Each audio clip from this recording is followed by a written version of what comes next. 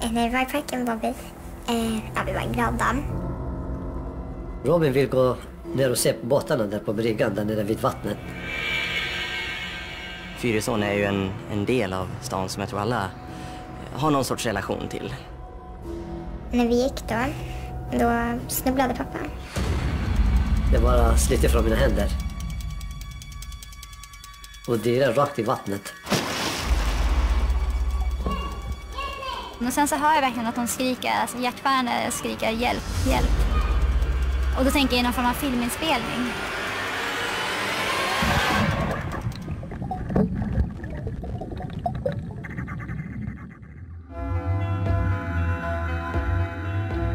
Överallt.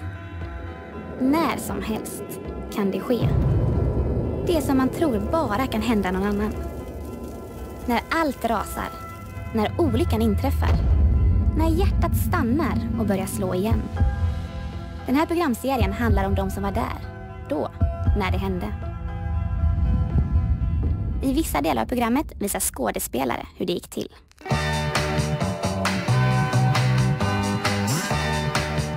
Vi är i Uppsala, Sveriges fjärde största stad. Här finns vårt äldsta universitet och en stor domkyrka och så Fyrisån som rinner vackert genom stan. Här, längs den här ån, gick Lian med sin pappa och lillebror Robin hem från dagis. Men någonstans går det snett och barnvagnen med Robin i rullar ner i vattnet och sjunker till botten. Vi ska hem till Lian och höra vad som hände just den där dagen.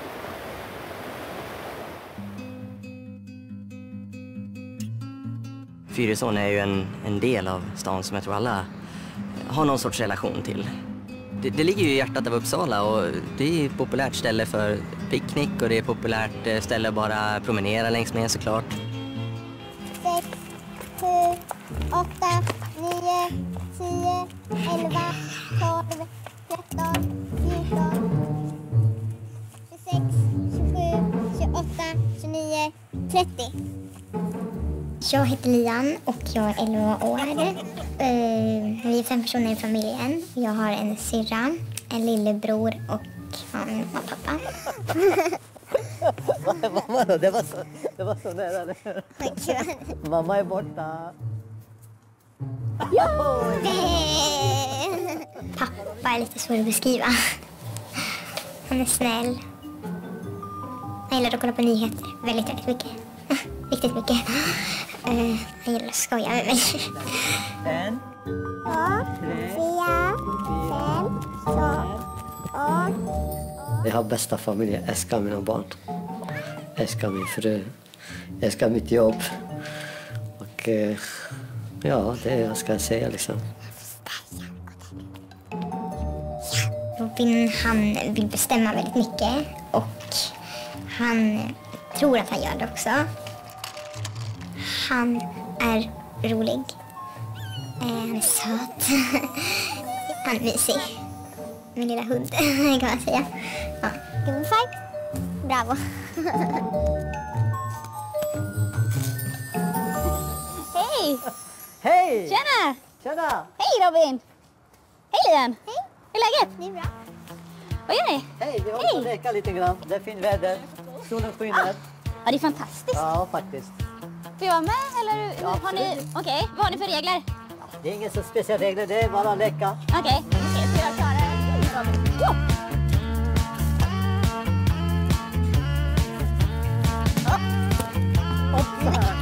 Bra, Olle.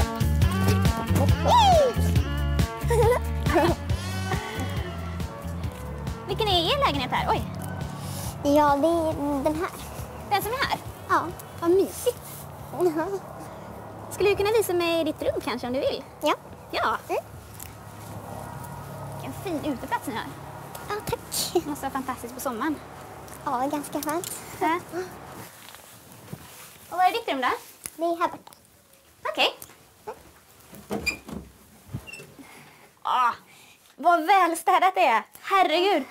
Mysigt. Spelar du? Ja. Det, det, fast jag spelar piano, inte keyboard. Men vi har ingen piano hemma, det får inte plats. Så. Och det här, vad är Uppsalajakten 1 etta och tvåa. Vad är det för någonting? Det är gymnastik. Vår grupp kom ett och två. Jaha, går gymnastik också? Ja. Är det så truppgymnastik eller gör man själv? Nej, det är så här, eh, Uppsala flickorna. Okej. Det är så här skolor. Vad gör man då? Vad är det för, vad är det för konstigt man gör? Nej, det är volter och hjulningar och sånt där. Okej. Och Hur gammal var det här? Det vet jag inte faktiskt. Jag kanske var åtta, sju. Mm, det var några år sedan. Ja. Vad fint. Men du, efter det hände det här med ån och allting. Det var ganska mycket uppståndelse, eller hur? ja. Sparade du några urklipp eller något sånt där från tidningar? Nej, jo, jag hade det. Eh, Jag hade lite bitar från tidningen som jag hade klippt ut. Men jag slängde det. Jaha, varför då? För det var för jobbigt eller för att... Jag ville bara inte ha... Jag ville bara lägga det åt sidan och bara strunta i det. Och tänka på något annat istället. Det, det är bara jobbigt. Men var det mycket som det stod om det? Ja, det var det. Men eh, har ni varit här sedan det hände vid ån? Nej, inte alls. Ingen Nej. av er? Nej. Men problemet är att vi ser platsen, liksom, precis det som hände. Liksom. Vi kör på, mitt emot på gatan liksom. När jag skjutsar mina barn till skolan och sånt. Men där, just där, jag, nej, ingen som har varit där. Och det känns väldigt tungt faktiskt om man ska vara ärlig. Men skulle ni ändå kunna visa mig var det hände någonstans? Ändå om, det, om ni vill? Ja, Liam, det får, men jag vill inte. Alltså, jag vill helst... Det känns väldigt jobbigt att komma dit igen. Och, Är det okej Lilian? Det är okej. Ska vi gå dit då? Ja. Bra. Då ses vi om ett litet tag. Kommer ni tillbaka? Va? Ja, det gör vi. Eller hur? Det här händer många som varit med om en svår händelse. Man både minns den väldigt bra och vill glömma. När olyckan hände hade Lian extremt bra koll på allt. Och det blev hennes lillebrors räddning. Jag heter Moa Mannheimer och är psykolog och jobbar inom barn och ungdomspsykiatrin på en traumaenhet. Eh, Vi träffar barn som har varit med om väldigt skrämmande händelser. För de allra flesta så händer ju såna dramatiska situationer väldigt sällan. Och då är det ju svårt innan att veta hur man reagerar. Den dagen när det hände, Ja. vad, vad gjorde ni då? Jo, vi var i Stadsparken. Stadsparken som ligger var? Där borta. Där? Ja. Stora lekplatserna. Ja. Vad hade ni gjort i Stadsparken då? Ja, vi gungade lite och lekte lite grann rörde på oss. Olyckan hände förra året den 17 september och då hade vi planerat att gå hem och bara ta det lugnt efter dagen. Och sen hände ju det då. Vi hämtade Liam först från skolan. Sen vi hämtade Robin. Vi var på väg hem som vanligt. De vill gå någonstans och leka. Och eh, mamma sa, ah, men eh, släpp mig hemma. Och eh, ni får gå på stadsparken och leka en timme, en och en halv timme tills jag lagar mat och klart och då får ni komma hem. Eh, När vi var i parken var vi, eh, ja, vi var glada. Och sen skulle vi på väg hem. Men då ville min lillebror, eller Robin, kolla på båtarna. Och pappa, kan vi inte gå ner till bryggan? Kolla på båtar och sen vi kan gå upp igen och sen vi går hem. Så okej? Då gick vi ner och tittade. Hur är det nu när vi går här? Kommer mycket minnen så tillbaka? Ja, lite grann. Jag kommer ihåg att vi gick här, den här vägen dit. Brukar Robin vilja kolla på båtarna? Nej, inte ofta nej. Men just idag, eller den här dagen vill han det. Ja, Det är ju ändå rätt så... mörkt, vattnet. Ja. Ser lite djupt ut. det är ungefär tre meter det. Har du gått här sedan dess? Nej, det har jag inte. Varför inte då? Äh, Alltså, man vill bara inte komma ihåg det, för när man går här så tänker man ju på det. Nej. Ja. Det är jobbigt att tänka på det. ja. Mm. Det mesta kommer man ihåg. Men ja, det är ju lite små hål. Så här, vi ska möta upp med några personer som kanske ska hjälpa till och som fylla i de här luckorna. Ja, Vill du göra det? ja okej. Ja. Känner du igen det? Ja. ja. Hej. Hej! Hej Katrin. Känner du igen det här? Hej. Hej Lian. Hej. Hur är det med dig? Det är bra. Ja, bra. Har ni sett någonting tidigare sen det här hände? Ja, vi hade en middag eh, i december. Så då träffades vi och det var första gången efter händelsen. Men hörni, jag skulle gärna veta, skulle ni kunna berätta vad som hände när du och din pappa Robin kom hit? Så jag får höra hela historien. Ja, ja. Eh, Okej, vi passerade här. Så ni kommer därifrån. Ja. Gick förbi, jag kollade på klockan. Det var klockan kvart över fem precis, eller 20 någonting var det. Sen jag tänkte att var för sent tills vi går åker hem och duscha och liksom uh, göra ordning. Det blir för sent. Sa till uh, eh, Lian, min dotter. Men pappa, ska vi snabba på och gå hem? Sa ja, pappa vi gör det. Sen vi tog farten lite, lite gick fortare.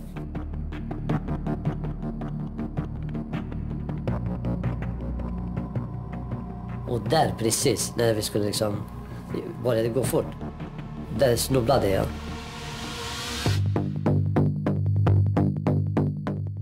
Tappade vagnen, då blir det en liten puff på vagnen. Så att vagnen rullade ner försiktigt och sen bara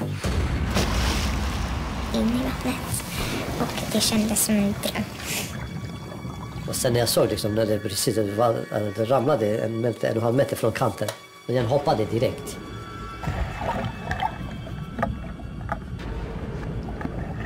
När barnvagnen eh, eh, rullar in i vattnet, då så blir det förskräckligt. Pappa hoppar in i vattnet men får inte upp den, det blir så himla tungt.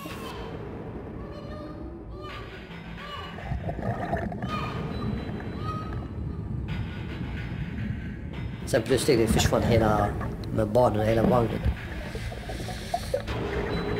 Den försökte dyka en, två gånger, jag började svälja vatten liksom. Sen jag började liksom tappa kontrollen helt och hållet. Jag liksom, när pappa inte satt vagnen blev det jättestressigt.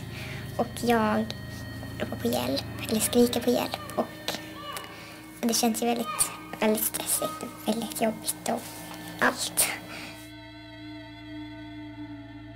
Ja, jag var på väg från eh, jobbet och passerade här genom parken och sen så hörde jag kom, kom, hjälp.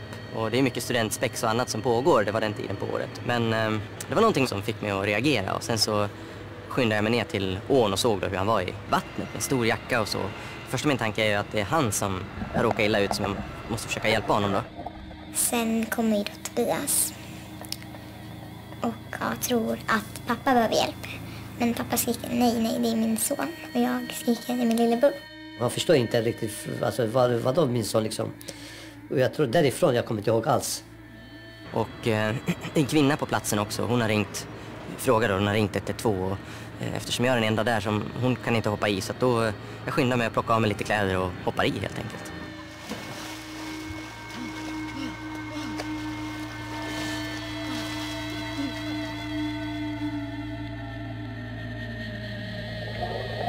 Det går inte att se någonting. Det är grumligt, det är lite mot eftermiddagen, mot kvällen till. Och jag kan inte se mina egna armar ens, så mörkt är det.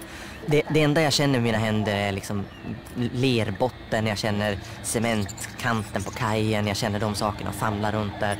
Stora rörelser för att försöka träffa någonting eftersom det är så mörkt. Eh, det som också är svårt är att när jag väl börjar leta så vet jag egentligen inte nå vad jag letar efter. Eh, eh, de ropar min son, min son, min bror, min bror är där nere. Men jag vet ingenting om till exempel att han satt i en barnvagn. Det, det har jag ingen aning om. Eh, eller hur liten han var för den delen. Jag, jag trodde det var en större pojke som vi letade efter. Det första jag hör när jag kommer in i parken är massor med rop och skrik och sen så hör jag att någon ropar hjälp. Och sen så när jag kommer närmare så ser jag att eh, pappan han, med sin här röda jackan och så ser jag en annan person i vattnet. Och så ser jag personen vid, vid kajkanten. Och då tänker jag någon form av filminspelning. Så att det var en väldigt konstig situation. Och sen så hör jag verkligen att de skriker, alltså hjärtskärande skriker hjälp, hjälp. Och då förstår jag att det är på, på allvar. Och sen efter några minuter kommer en tjej. Och eh, då kommer hon och frågar några andra vad som händer och vad som pågår. Och sen så kommer hon till mig och frågar vart han ramlade i. Och då pekar jag där stället han ramlade i. Det är så mycket frågetecken och en ganska kaosartad situation, en stressad situation. Eh, och den här flickan då, som är väldigt lugn. Och eh, jag är ganska van att agera i sådana situationer när jag, jag, jobbar, jag jobbar som polis. Och sen så att jag ganska nyligen hade gått en livräddarutbildning så jag ändå vet hur man tänker när man ska leta efter någon person. När man dyker den senaste sedda platsen. Det var därför jag frågade henne också om vart hon såg honom senast. Tänker det som Lian har gjort väldigt bra i den här situationen är ju dels att hon håller sig stilla men ändå stannar kvar på platsen. Eh, Sen verkar det som att hon just har riktat, all hennes uppmärksamhet är ju riktat mot lillebror Robin och vad det är, vad det är som har hänt honom. Eh, Och det är ju väldigt, väldigt bra för det är det som gör att hon kan svara och peka ut det och förklara. Så det var det som ändå fick mig att känna mig ganska trygg i den här stressfulla situationen och den här jobbiga situationen. Så att jag hoppade i. Och eftersom det inte var så djupt så bestämde jag mig för att gå ner med fötterna först. Och så känner jag vad jag uppfattar en, en arm. Det första jag tänkte på att det var väldigt obehagligt. En äcklig känsla. Ehm, Men jag gick upp snabbt. Och eh, då är Tobias också uppe i vattnet samtidigt som mig. Och då säger jag till Tobias, jag tror att han är här. Lian verkar ha pekat precis där lillebror Robin är. Hon föreslår att vi ska göra ett gemensamt dykningar. Så vi går ner båda två, jag dyker ner till botten och kommer ner och känner någonting metalliskt. Och det första jag tänker då är att det är en cykel bara. Vi har inte hittat rätt sak. Men sen måste jag ha satt handen på ett litet hjul. Och då är det som att alla bitar i pusslet faller på plats. Jag, jag förstår att det är en barnvagn och att det var en så liten pojke som vi letar efter. Men sen kom nästa steg då att lyfta upp den och kunna ta tag och skjuta ifrån med fötterna från botten. Det var ju en sak. Men när man väl kom upp i den fria vattenmassan, den var så otroligt tung och känna då hur man kunde simma samtidigt som man skulle lyfta den. Det var, det var jättesvårt. Väldigt, väldigt tungt. Och det känns som att det är jättelångt, jättedjupt. Vi kommer aldrig upp, aldrig upp. Och luften börjar ta slut och orken börjar ta slut. Och det jag känner bara, gud vad tungt det är. Det går inte att beskriva men de säger att man kan bli väldigt stark i viktiga ögonblick och mm, det kanske var det här ögonblicket.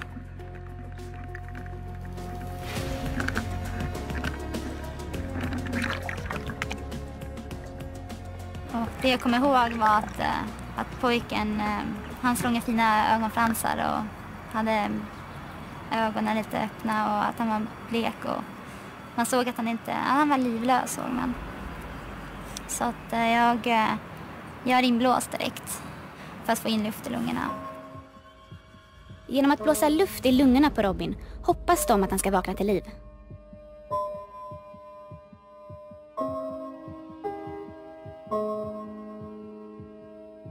Jag tänkte att nu är det nog för sent. Han är nog död nu. Jag trodde han var död faktiskt. Och jag var så nere, jag var liksom stress, rädd, sorg. Alltså det, allting med en gång. Det bara liksom hjärnan stannade. Ja. Att se pappa sådär har jag aldrig gjort. Eh, det var jobbigt.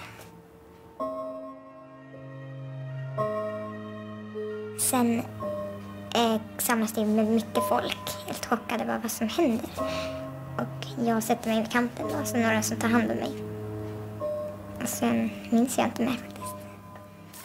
Innan familjen åkte till eh, sjukhuset så, så såg jag Lian och ville prata med henne och tog tag i henne och sa att eh, oavsett hur det går, för vi visste ju inte alls hur det skulle gå, vi hade inte hört någonting eller så har du varit jätteduktig och gjort det du har kunnat. Och det var jättebra att du pekade ut och du kom ihåg vart han var någonstans. Och det var tack vare att du gjorde det som, som jag bland annat och Tobias och de andra, att vi hittade pojken.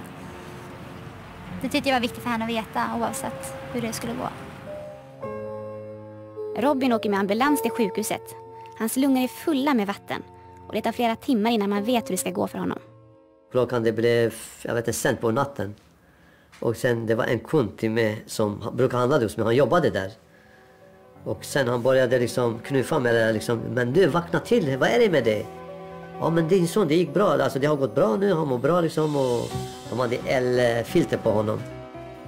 Så till slut andas han och hjärtat slår som vanligt. Det är klart, när jag såg det som han mår bra, han lever, då jag tänkte gud alltså. Hela världen är min liksom. Och eh, då, när jag kom till sjukhuset, så letade jag efter min lillebror. Jag vart är han? Jag se honom. Eh, ja. och då, sen hittade jag honom och blev väldigt glad över det. Och fast han brydde sig inte så mycket om mig för jag tror inte han, jag tror han glömde mig någonting. Jag tappade bort sig lite. Ja.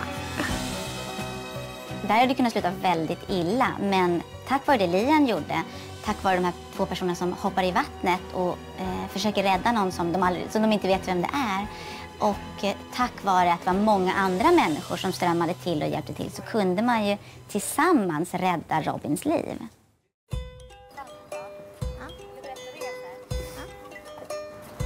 Vad gjorde ni direkt efter händelsen?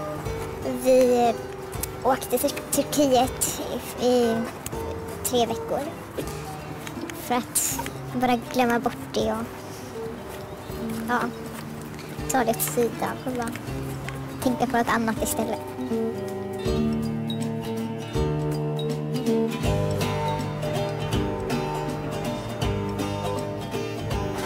Ska vi ta trappan? Ja. Det är jättekul att träffa familjen eh, efter den här händelsen och få se Robin. Jag tror det kan vara viktigt, i alla fall för mig var det viktigt att se hur de mår nu.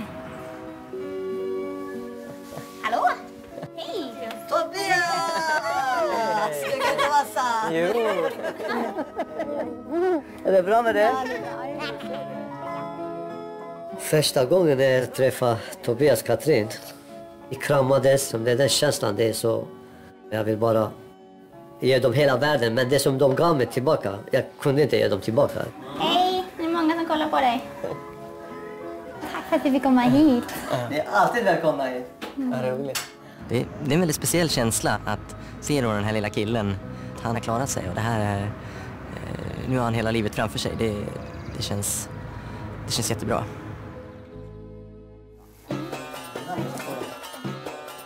Varsågoda. Tack så mycket. Vad är allt det här för någonting mat? Är... Det här är inget speciellt, det är bara lite... Ja, lite, lite speciellt vill jag Ja, det tycka att det är jättefint. Så här ser ut när jag också äter middag. Alltid. Varsågoda. Jag hoppas de tycker om det. Men du, Beck, vi var ju nu eh, där det hände. Ja. När var det du förstod att han faktiskt hade överlevt? Kanske efter många timmar efter, fyra, fem timmar efter. Alltså det, jag var helt borta liksom. Jag trodde han var död faktiskt. Tänk, ditt barn försvinner framför dina ögon, du är hjälplös. Och du vet att han liksom kommer att dö. Och du kunde, jag kunde inte göra någonting åt det. Det går inte att förklara. Och jag hoppas ingen som upplever det, det som jag har upplevt. Sen sen där hände har jag mer extra koll på honom. Så vi håller honom nära oss så inte han smiter iväg. Men jag är glad att hon lever.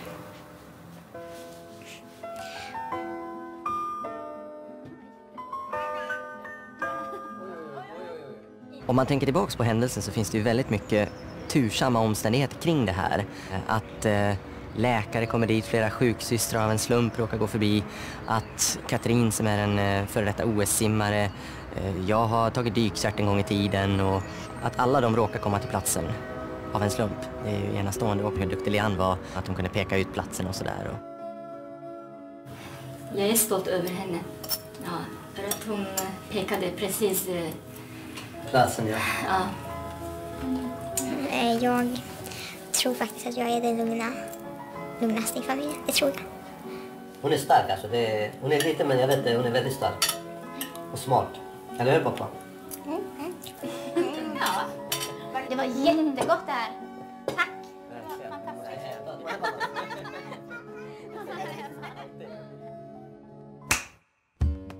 Nästa vecka i Extrema ögonblick. Själva planen för paddlingen var att vi skulle paddla en väldigt lång sträcka och eh, bara ut och grilla marshmallows och tälta och ha det kul. När vi kommer in över vad så säger jag att det är en spegelblank yta. Jag ser också två kanoter i kanten på sjön. Men det är ganska långt bort så jag tänkte inte det var något problem att gå ner till ytan ändå. Gud vad coolt, den ska landa mitt framför oss här. Och då säger det pang.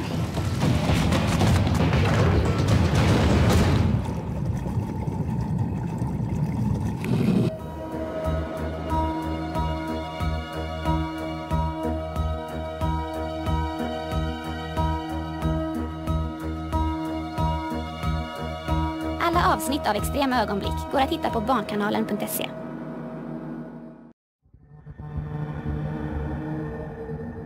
Själva planen för paddlingen var att vi skulle paddla en väldigt lång sträcka och eh, bara ut och grilla marshmallows och tälta och ha det kul. När vi kommer in över vad alltså säga att det är en spegelblank yta. Jag ser också två kanoter i kanten på sjön. Men det är ganska långt bort så jag tänkte inte det var något problem att gå ner till ytan ändå. Gud vad coolt, den ska landa mitt framför oss här. Och då säger det pang.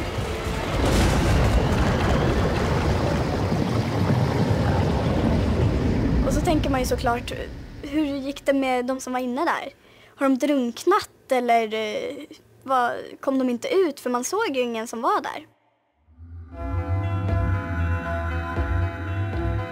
Överallt. När som helst kan det ske. Det som man tror bara kan hända någon annan. När allt rasar. När olyckan inträffar. När hjärtat stannar och börjar slå igen. Den här programserien handlar om de som var där. Då, när det hände. I vissa delar av programmet visar skådespelare hur det gick till.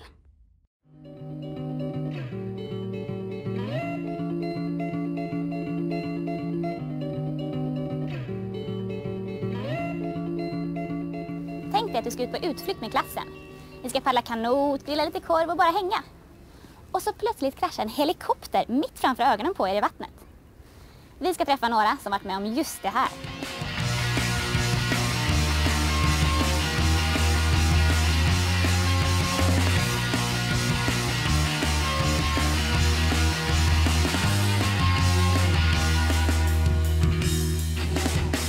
Allt hände vid Tyresöflaten, en sjö söder om Stockholm. Men vi ska träffa gänget någon annanstans. Hej! Hej! Hur är läget? Bra. Ska vi se. Vem är vem nu? Juliette. Tina. Och Sofia. Eh, vi är ett gäng som har vildmarksprofil. Vi är väldigt tajt klass, så vi har väldigt roligt tillsammans och så. Du måste vara... Salim ska få med kläderna bara. Vildmarksprofilen verkade ju jättekul. Man kunde åka skidor, fiska och typ tälta och sådana grejer. Kommer du ihåg vad jag gjorde? Eh, ja, nej. jo, man... Eh, så här, prova. Dra den tillbaka. Jag heter Elin. Jag är lärare i vildmark. Eh, och det här är min tredje grupp som jag har. Och vi har två timmar i veckan som vi läser vildmark. Och hittar på massa äventyr och lär oss om allt möjligt runt omkring som har, har med natur att göra. Det är jobbigt för händerna. Jag vet. Vem styr ni nu då? Din tur. Min tur? Ja, nu får du klättra. Ska vi leta på de stora väggarna där borta då istället? Vågar du det? Jag vågar, vågar ni? Ja, det är klart. Ja, bra, men då kör vi där. På vildmarkstimmarna brukar vi åka skridskor, paddla, klättra. Man lär känna varandra väldigt bra när man är så här, ute i naturen och så här. Ja, Du får prova i alla fall. det är väldigt trevligt. Det blir som en liten familj. Det är så, det är så högt på sin nattfärg. Juliette är väldigt snäll, pålitlig. Hon är en sån som ställer upp om det är något som händer eller Kom sådär. igen nu. Jag vill också klättra sådär. Bra! Wow, snyggt! Så spännande. Tackar. Vem styr det nu då? Men vem vill köra? Sofia, ska jag köra? Ja, kör. Ja. Det är första gången Har du tagit sån här? Ja, jag har tagit. Nu blev du lite vit där. Ja, men det är shit. Men du är inte höjdrädd? Nej. Sofia hon, är, hon har koll på det mesta. Ja, Om man ska sätta upp ett tält så är det Sofia man frågar. Sofia hjälper till ganska mycket. Alltså hon är jätteduktig på det där med vildmark och sånt. Ja, vi har det. Bra Sofia! Salim han vill alltid klättra snabbast och hugga ved snabbast och vara den starkaste och den bästa. Ja, Salim är rolig, retsam, väldigt retsam. Bra Salim. Var det lätt som en plätt? Ja. Det var inte alls rätt där uppe. Ja, ni är inte så hariga av er. Ett modigt gäng där. Det var inte, det var inte läskigt alls där uppe. Nej, alltså man tänker inte riktigt på det, man försöker bara hitta greppen.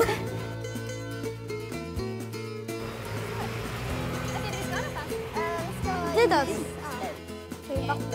Den här skolklassen är van vid äventyr. De är ofta utomhus, de grillar och till och med övernattar där. Och här i Tyresötrakten är naturen spännande. Nästan lite hemligt dramatisk. Med djupa grottor, vilda bäckar och stora sjöar. någon annan än jag som är hungrig? Ja, Jag är vrålhungrig. Ja, ska vi ta härligt. Ja. Kan du göra upp eld utan tändstickor och tändstål? Jag har lärt mig några vis. Man kan använda förstoringsglas, Ja. batterier och eh, vad heter det? stålull. Just det. Mm. och så, ja, Ja, det det, är finns coolt. lite andra sätt. Jag känner mig trygg med dig alltså. skönt.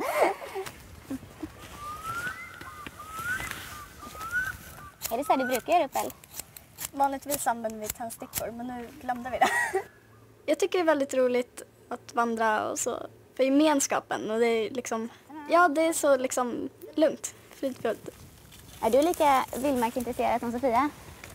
Inte lika skulle jag säga, men jag gillar ju så här äventyr och så här sporter typ. Ja. Kolla vad vi har fixat. Grillpinnar. Men oavsett hur mysigt man gör det för sig så kan allt förändras väldigt snabbt. På morgonen så kändes det jättelugnt, vackert väder, jättefint och jag hade ingen aning om vad som skulle hända. Själva planen för paddlingen var att vi skulle övernatta två dygn.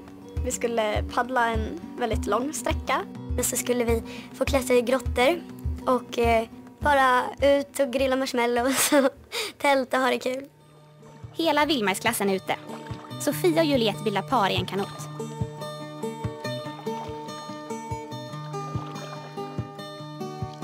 Ja, vi paddlade först eh, tvärs över en liten sjö. Och sen kom vi in på en å och det var lite strömt.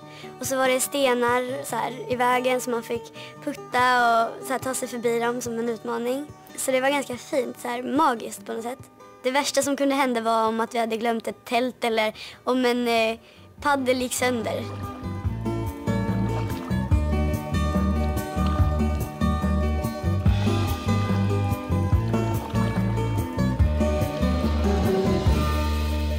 Samtidigt, på andra sidan Stockholm, vid Bromma flygplats, förbereder sig två män för en helikoptertur. Ja, vi skulle ta vattenprover, 150 sjöar runt Stockholm. Eh, och vi hade väl planerat att göra det på en vecka ungefär. Så vi träffas ju här vid Bromma flygplats och eh, tar in utrustningen på området. Och sen har vi en liten säkerhetsgenomgång för första gången som jag och Svein kommer flyga tillsammans.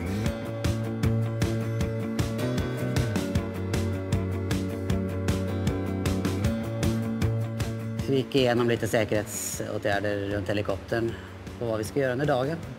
När det är första gången jag kommer ta prover från helikopter så visst är man lite orolig, funderar vad som ska kunna hända och så men det känns som Svein är en duktig, erfaren pilot. Och det är ju väldigt fint väder också så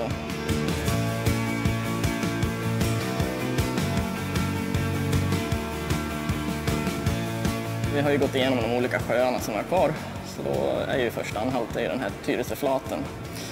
Vi flyger ju dit på några minuter.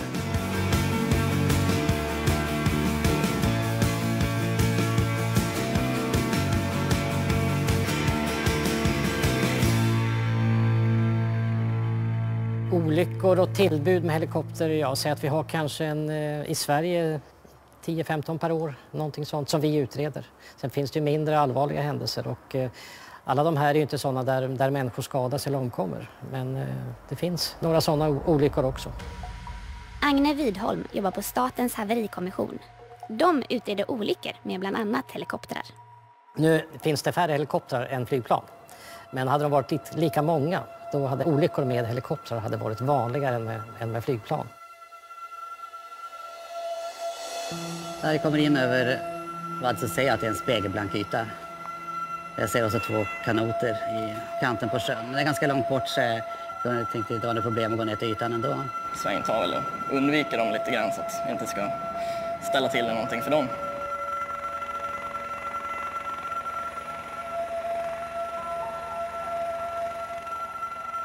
Här nere är min badplats. Och eh, den här dagen så kom helikoptern farande ifrån eh, skogskanten där uppe. Ja, alltså från början blev jag bara nyfiken för att det, det, är, det är inte så ofta det kommer helikoptrar som flyger här över. Men då var det också ett gäng kanoter som kom här bortifrån. Vi hade precis kommit ut från det området som var mer strömt och så kom vi ut på sjön där det var alldeles spegelblankt och jättefint. Och så ser vi en, hur en helikopter kommer flygande. Så bara, ja, vad roligt.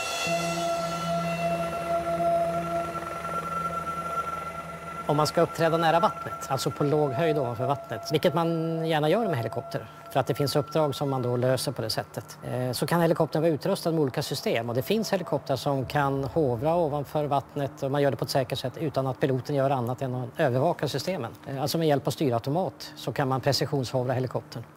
Eh, men det är större helikoptrar. Mindre helikoptrar, de har inte de här systemen, de är dyra och de väger mycket och där får piloten göra en större del av jobbet.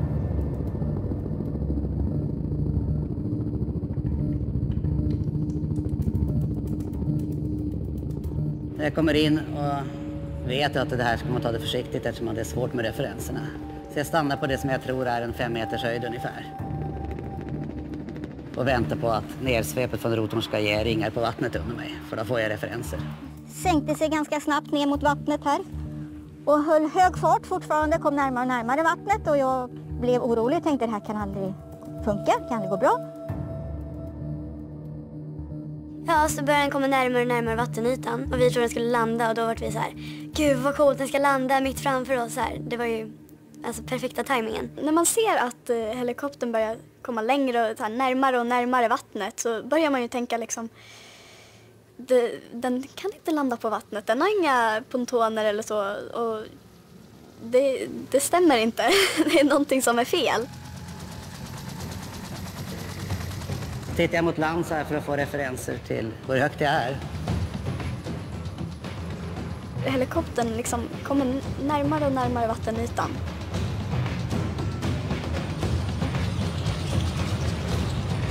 Och då säger det pang.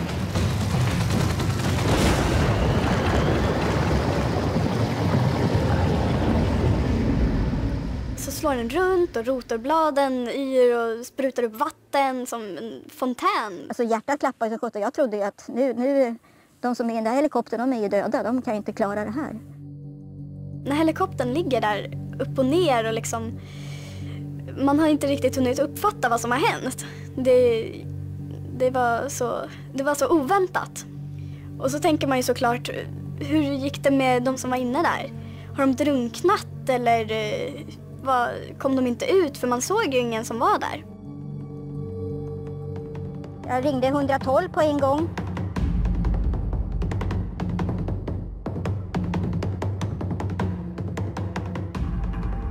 Vi höll på som vanligt här på station med våra stationsjobb och eh, plötsligt då så tänds lampan och larmet går. De säger på larmet att det är en helikopter som har störtat i vattnet och eh, att det är barn eh, i kanoter inblandade. Ja, nej, men det man såg framför sig lite det var väl att de hade, om de hade kraschat nära barnen att de kunde flyga delar kanske och träffa barnen eller att de skulle dras med på något sätt. Det handlar ju om eh, sekunder, minuter om man hamnar i vattnet och håller på att drunkna. Det, är ju, det finns inte mycket att spela på utan det gäller att ta sig snabbt till platsen och komma i vattnet och, och få upp de här människorna i sådana fall. Det gällde att stå på för att komma fram och se vad, vad som verkligen har hänt. En helikopter störtade på förmiddagen i sjön Tyresöflaten sydost om Stockholm. Enligt polisen var helikoptern på väg att ta vattenprover när den kom på för låg höjd och störtade.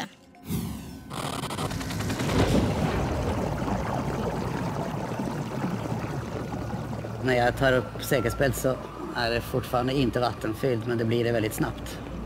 Jag skriker till Anders, ut, ut skriker jag. Och när jag tittar upp så ser jag hur det väller in vatten genom öppningen där vi har tagit bort dörren till helikoptern.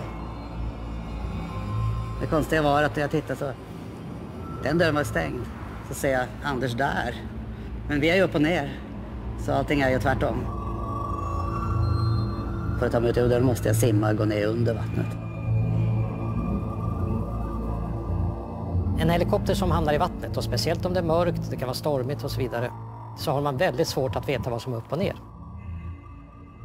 Och eh, även om man visste vad upp och ner så måste man också ha en teknik för att kunna ta sig ut ur helikoptern. Helikoptern har ju nödutgångar, man ska kunna fälla dörrar och det finns särskilda nödutgångar som man ska kunna använda sig av. En passagerare de instrueras alltid om hur de här nödutgångarna ser ut och som de ska kunna använda dem.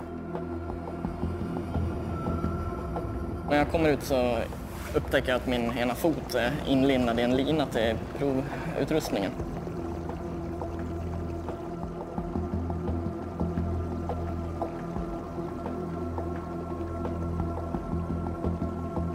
Till slut kommer han loss.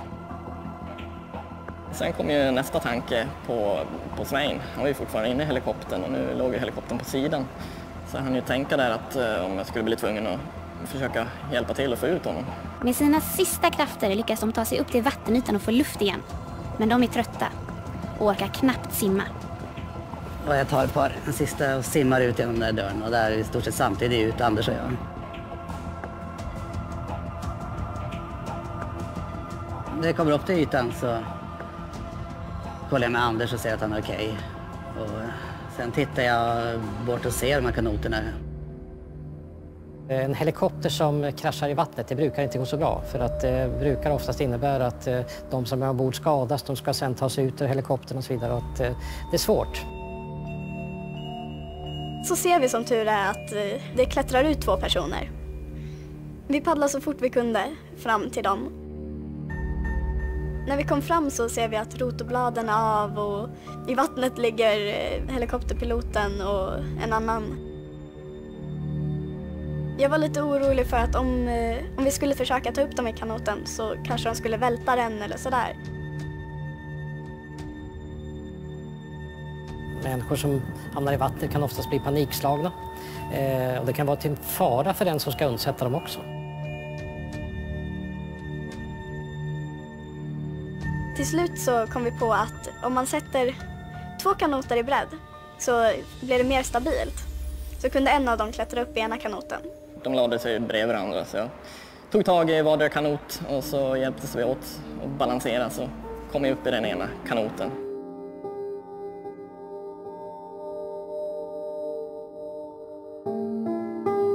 På vägen in till land så pratade de väldigt mycket och det märktes på dem att de var chockade. Jag försökte liksom lugna med att eh, prata med lugn röst och bara så. Man visste inte riktigt vad man skulle säga efter en sån grej som hade hänt. Men eh, vad man har fått lärt sig i skolan och på scouterna och så är att man ska hela tiden försöka vara lugn och liksom förmedla det lugnet.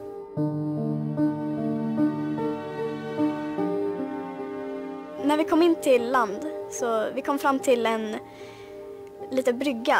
Det fanns en stege, det var enda sättet att ta sig upp då. Och precis när vi hade nått, eh, nått fram till bryggan så kom all, alla ambulanser och alltihop på en och samma gång och började liksom direkt hjälpa till. När alltså hela stället var fullt med eh, människor och sånt och då började jag förstå alltså, det här är stort.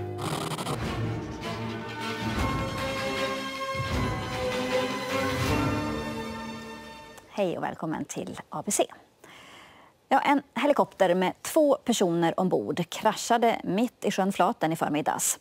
Enligt räddningstjänsten höll helikoptern på att ta vattenprover när någonting gick fel. Men dagens hjältar blev eleverna i den skolklass som var ute och paddlade. Ja, den här gången kunde räddningstjänsten andas ut direkt. När de kom fram hade de två männen i helikoptern redan tagit sig i land av Sofia Ejebro och hennes kompisar som befann sig mitt ute på sjön i sina kanoter när dramat utspelade sig. Vi visste inte riktigt vad som skulle hända så vi bara plockade upp dem och åkte in till land med dem. Så kom ju räddningen sen. Men då var de redan räddade? Ja, precis. Ja, nej, men de här eleverna som jag träffar på som har hjälpt dem, är, de är fantastiska. Det är de som har gjort den stora insatsen i, i det här. Vi gör egentligen ingenting i och med att alla är ute ur helikoptern och de är i land och de är omhändertagna. Eh, de har ju varit jätteduktiga. Och de är ju, de är ju skärrade men de är samtidigt glada att de har kunnat hjälpa till. Alltså. Efter att ha stått och pratat med polisen en och en i en, typ en halvtimme så bestämde vi oss ändå att fortsätta vår resa. Vi hade ju ändå liksom två dagar kvar. Det var ju bara första dagen det hände. På kvällen, det var då jag gick igenom Ja, vi har varit med om en helikopterkrasch. Polisen har varit där, vi har blivit intervjuade av dem. Sen kom massa journalister. Det var på kvällen som jag förstod det. Nu efteråt så tänker jag att hade vi varit där tio minuter tidigare eller fem minuter tidigare så hade de kunnat landa på oss.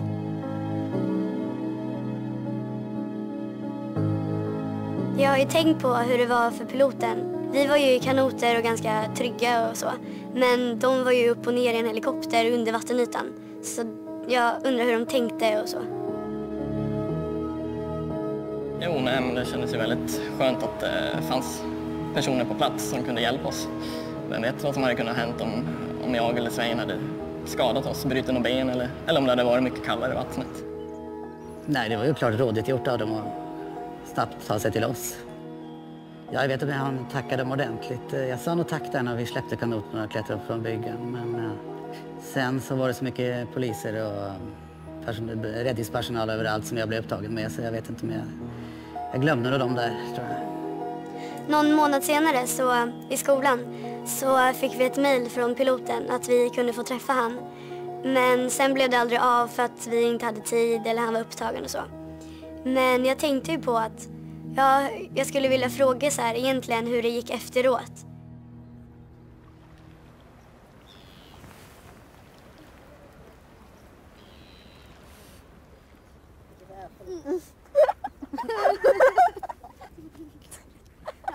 Hela ansiktet.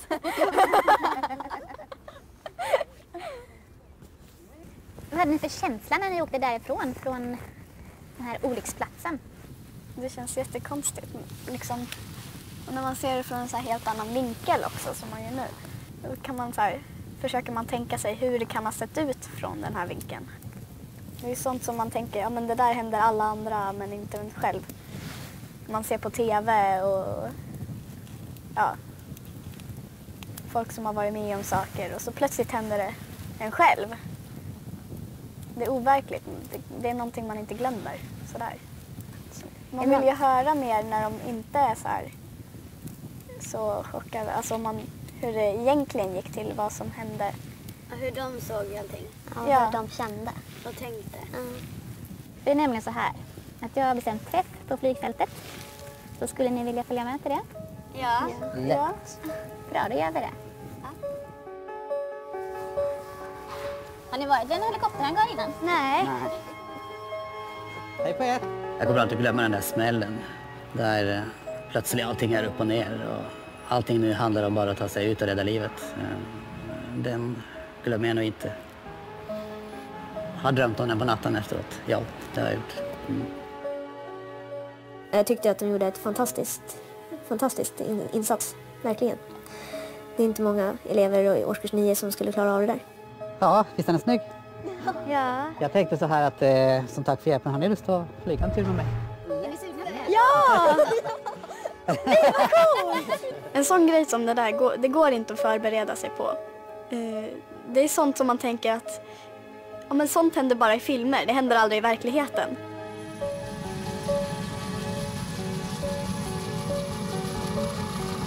När det väl hände så kändes det så dramatiskt som det bara kunde bli.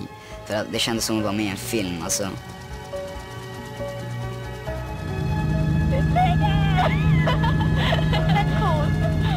kul att det gick bra för alla. Att alla klarade sig. Ja, det var ju skönt att de var där. En snabbt tog sig dit, de här eleverna. Och eh, att vi kunde få skjuts ut i land. Jag är glad att vi var det gäng vi ändå är, att vi har sånt bra samarbete och så. Och att eh, vi kunde samarbeta och hjälpas åt för att lösa problemet med att få upp dem ur vattnet och sådär. Nästa vecka i Extrema ögonblick.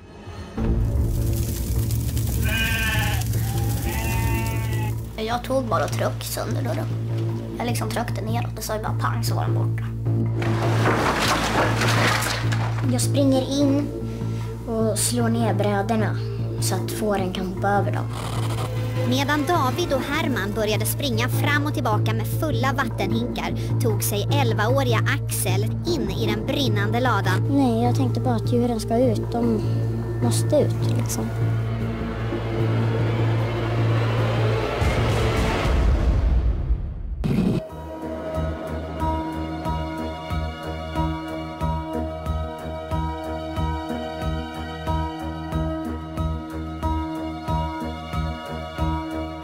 Avsnitt av Extrema ögonblick går att hitta på barnkanalen.se.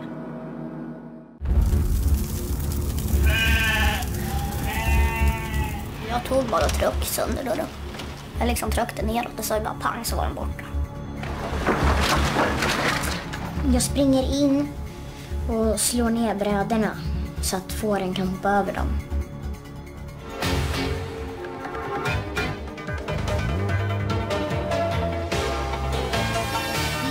Det åter på Sjölunda gård utanför Arboga och tre hjältar har samlats för att diskutera. Medan David och Herman började springa fram och tillbaka med fulla vattenhinkar tog sig 11-åriga Axel in i den brinnande ladan. Nej, jag tänkte bara att djuren ska ut. De måste ut liksom. Hade inte David och Fredrik märkt branden hade vi brunnit upp. Gården och allt. Överallt. När som helst kan det ske. Det som man tror bara kan hända någon annan. När allt rasar. När olyckan inträffar. När hjärtat stannar och börjar slå igen. Den här programserien handlar om de som var där. Då, när det hände. Inga djur blev utsatta för någon fara när vi gjorde programmet.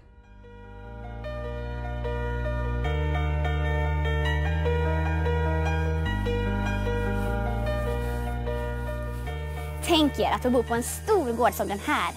Där det finns kor, hästar, höns och massa fina får. Det är i alla fall någonting jag alltid drömt om.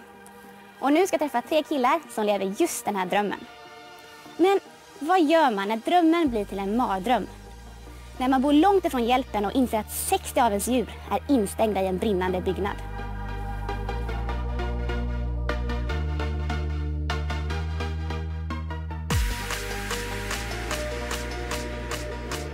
Vi befinner oss strax utanför Arboga på Sjölunda gård. Här bor Axel och Herman med sin mamma. Och alldeles bredvid dem bor kompisen David med sin pappa. Det bästa med att bo på en bondgård tycker jag är friheten och kunna göra vad man vill och djuren. Det är rätt så kul att bo på en bondgård. Eh, ha friden att kunna leka, eh, vara med djuren. Jag tycker kalvarna är roliga. Man får pyssla med dem och sköta om dem.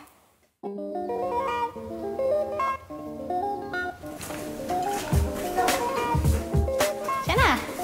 Hej! Vad gör ni? Vi håller på att stapla lite hö här. Vi har kastat ner till julen. Ja, det är klart. Behöver ni hjälp med någonting eller? Vi skulle behöva kasta ner några balar till. Det är mycket jobb på en stor bondgård som den här. Med alla byggnader och vägar och, och så alla djur förstås. Vilka är favoritdjuren då? Hund och får. Hund och får. Vad tycker du Herman? Vilka är favoritdjuren? Eh, mina favoritdjur är hund och, och häst. Hund och häst. Mm. Herman är, han är väldigt teoretiskt lagd. Han har lätt för sig språkligt och matematiskt och även musikaliskt. Han är, är inte den som grabbar hammare och spik men han matar gärna hönsen och plockar äggen. Hammare. Hammare. Och här är spik. Skulle vi ha en tång med oss också eller? Ja. Tycker du? Jag tar tången också. Vart den kan vara. Axel är praktisk. Han reflekterar väldigt mycket. Han tänker alltid sig för innan han säger någonting. Eh, han har väldigt lätt att han har väldigt lätt att se vad människor... Han ser igenom människor, om jag säger så. Han ser rakt igenom människor. Får vi plats där bägge två? Ja. Bra. Alltså det här är kul. Har man en bondgård och en traktor så får man köra den på sin egna gård utan körkort. Snyggt. Hur styr skopan? Va? Hur styr skopan? Men vilken spak då? Den? Okej. Här växlar jag lite.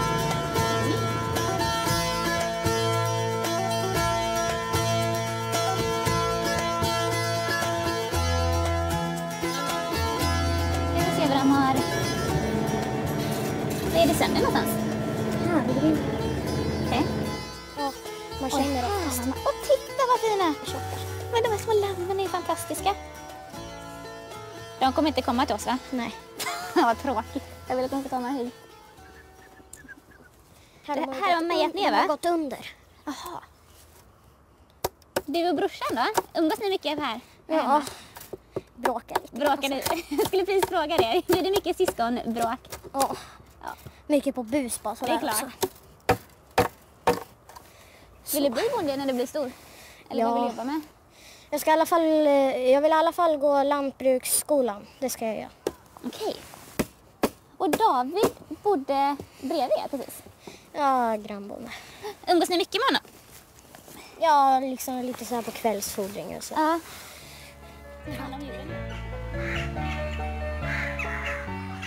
Ja, så här håller det på. Från tidig morgon till sen kväll. Egentligen kan man säga att all tid utanför skolan handlar om djuren. Också för David som bor på granngården. Vad är det för någonting? Vad är pellets? Ja, det ser ut som det som man äter kaniner nästan. Ja.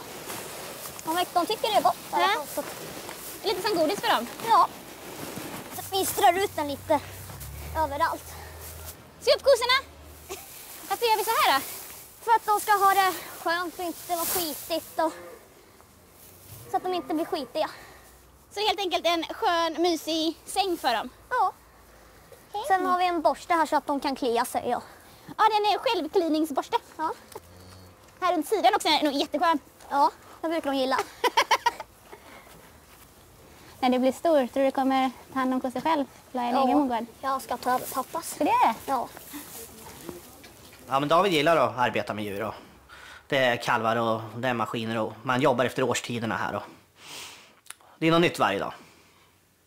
Jag tycker det är roligt för att man får hålla på med djur och skruva på mycket grejer och köra lite traktor här och där. Axel, Herman och David lever bland djur, ute i naturen och på sina stora gårdar. Och det här är en dröm för många. Så länge inget oväntat och otäckt händer förstås.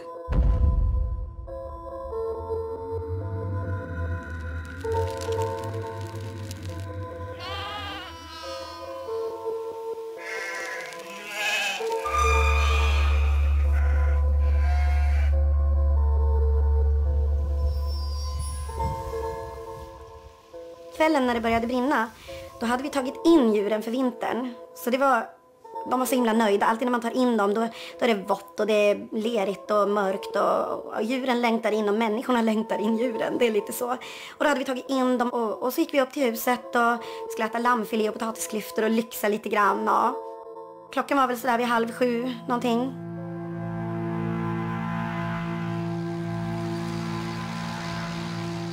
Jag och pappa hade fodrat våra kossor nere vid ladugården.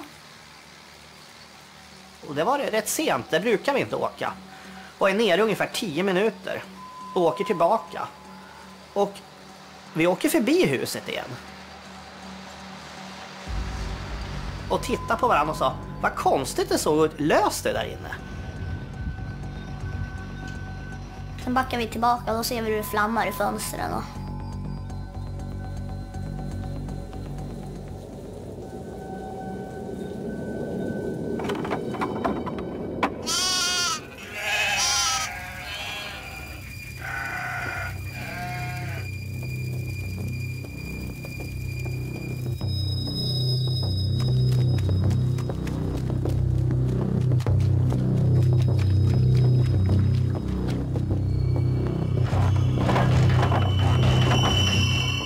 största riskerna just på en gård är ju att eh, ofta kanske det är otäta konstruktioner i väggar så att det släpper igenom luft och eh, syre då som branden vill ha. Plus att det finns väldigt mycket brandbenäget som ger eh, bra bränsle till en eld så att säga. Det är precis det den vill ha. Och då kan man få väldigt kraftiga och snabba förlopp. Det är en tidig men mörk höstkväll. Axel och Herman myser med sin mamma. Grannen David och hans pappa har varit och sett till sina kor när de upptäcker att det brinner i Axel och Hermans fårstall. Det är 60 får där inne och porten till stallet har fastnat.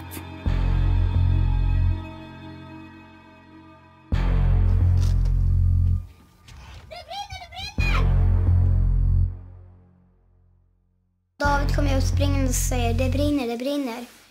Då säger jag och Axel ha ha ha du skojar. Då skrek jag bara av en strumpa i det då.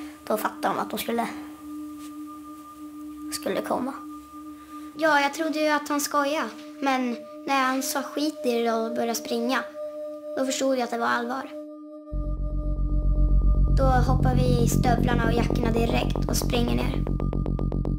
Så jag tog telefonen direkt och ringde SOS Alarm. De har tur. På brandstationen i Arboga jobbar inte brandmännen hela tiden utan de kommer bara dit när det blir utryckning. Vilket brukar betyda att det kan ta lite längre tid. Men just idag är de faktiskt på plats. Ja, vi övade här på kvällen. Vi hade en eh, fystestsövning. Så vi var på stationen och eh, larmet gick. Brand i byggnad. Djur kvar. Eh, ja, med tanke på körsträckan dit och sånt där så, så, så målar man ju upp ett scenario där man, där man kanske tror att det inte kommer gå så jättebra för de här djuren. Det har en förmåga att kunna gå snabbt i, i stallar och sånt där. Det är mycket, mycket brännbart material, mycket torrt, halmbäddar, bös och sånt där. Det, det kan gå väldigt fort.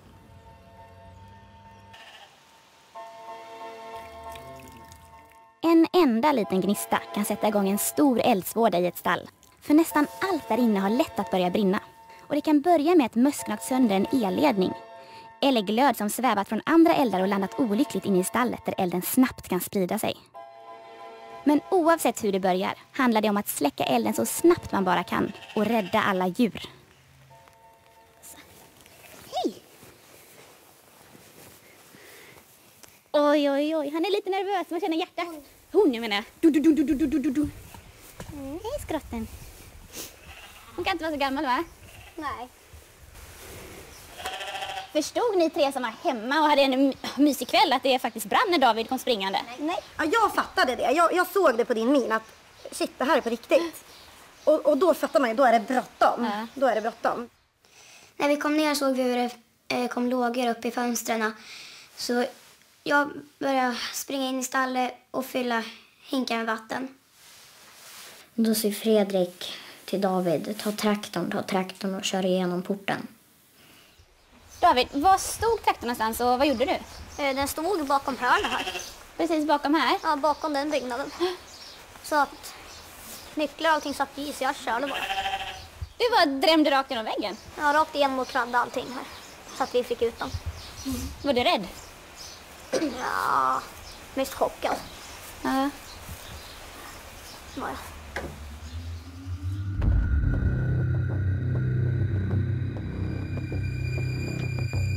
När jag kommer ner till Lama skriker pappa att jag ska ta traktorn och köra igenom porten.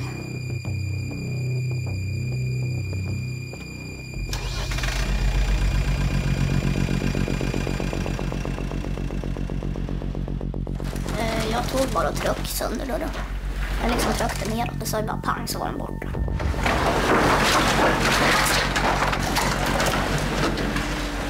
Och jag backar iväg en liten bit så att vi lyser in i där det brinner så att de, pappa och Axel ser när de slänger ut får. Jag springer in och slår ner brädorna så att fåren kan hoppa över dem. När vi, när, när vi kom in och porten var borta, då tänkte jag, det här går aldrig. Det här är kört. Det var ju en halv meter innan lågorna hade tagit taket där inne med vass och halm. Då hade det ju varit kört. Spannmålsilon den står ju bara fem meter ifrån där det brann. Hade det tagit eld, då hade ju hela gården säkert brunnit upp. Ja, det är väldigt farligt att befinna sig i en ladegård ladugård som är brandhärjad. Det är stor risk att man fastnar i själva brandhärden och röken. Och det är ju röken som är så otroligt farlig att andas in, både för oss och för djuren.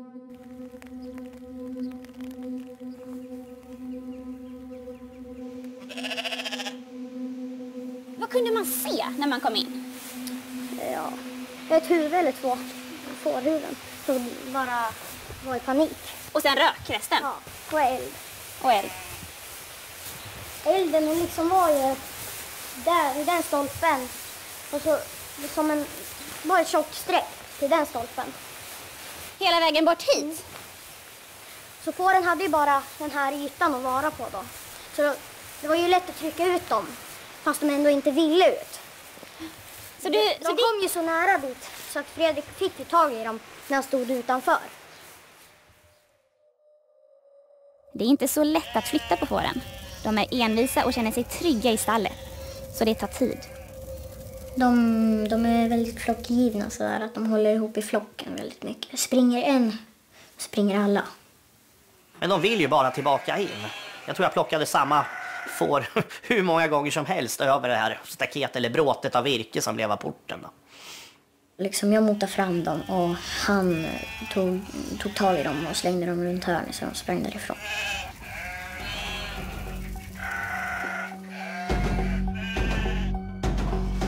Jag började springa in i stallet och fylla hinkar med vatten. Jag springer till fårhuset där fåren är och eh, häller en hink med vatten runt elden. Då. Och sen börjar jag fylla hinkar och kasta på. Herman tog första hinken och den, alltså den träffade så bra. Alltså elden delade sig mitt i tur. Så det var två mi- mindre eldar. Sen när jag parkerade traktorn började jag också springa och hämta vatten. Ja, vi sprang nog 25-30 gånger i alla fall.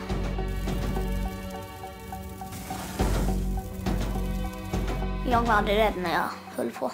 Jag hade tänkt inte, jag bara gjorde.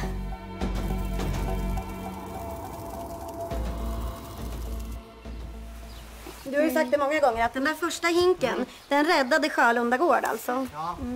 Den tog bra. Tog lång sträcka av den här. För det brann ju som en vägg emot oss. Eller? Ja, de- deras snabba agenda, dels att få upp porten på det här viset och sen snabbt eh, få tag på vatten. Jag, jag tror absolut att det ändrade hela förloppet på den här händelsen. Och att de tänker på det här att eh, ja, blöta upp områden för att spara lite tid så att de kan få ut fler djur genom att släcka egentligen då där det inte brinner utan möjliggöra så att det inte kan brinna just där. Man ser i väggen här att jag har... Ja, precis. Där har det brunnit massor. Ja. Det är lite svart. Ja. Hur höga var lågorna ungefär? De var väl upp... Bjälkarna? Ja, Oj. två meter har jag. Tänk om de hade tutat eld. Mm. Det brinner rätt så bra där uppe tror jag. Ja. Men hur nära var det att ladugården brann upp? Jag, jag tror vi pratar sekunder. Alltså, jag fattar faktiskt fortfarande inte hur vi klarade det. För, ja, hade det tagit i bjälklaget och så nära till spannmålstorken och där inne har vi hö och halm och allt damm som är där inne, då hade, då hade hela gården brunnit ner. Du säger bara poff så är vi borta. Ja, precis. Vad kan det vara? Är det fem meter emellan kanske?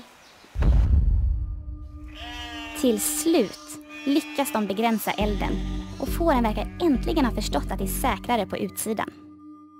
När det väl börjar släppa så springer ju får genom eld och aska. så Det blir väldigt rökigt där inne alltså. Väldigt rökigt. Och jag tror att Kristell spolar vatten från baksidan också gör att det blir en rökutveckling eller en askdamm eller någonting. Det är otroligt tungandat. Och Axel får plötsligt problem med röken. Jag var på väg ut härifrån. Då liksom ramlade jag här. Och orkade inte liksom ta mig upp. Jag såg ju traktorn, traktorns ljus där ute. Och Herman som sprang bort med hinkar då. Men sen vet jag inte riktigt. Det var jättesvårt att andas när det var så mycket rök. Och, ja. Jag såg inte heller någonting och orkade ingenting. Så det var jättesvårt. Jag låg mest bara och hostade, hade ont i huvudet och lungorna. Men jag orkade inte resa mig upp. Det är stor risk att man fastnar i själva brandhärden och röken. För det är någonting som man inte upplever och inte känner riktigt. Mer än att man får symptom av att bli yr och dåsig och, och det i sin tur gör att man inte tar sig ut därifrån.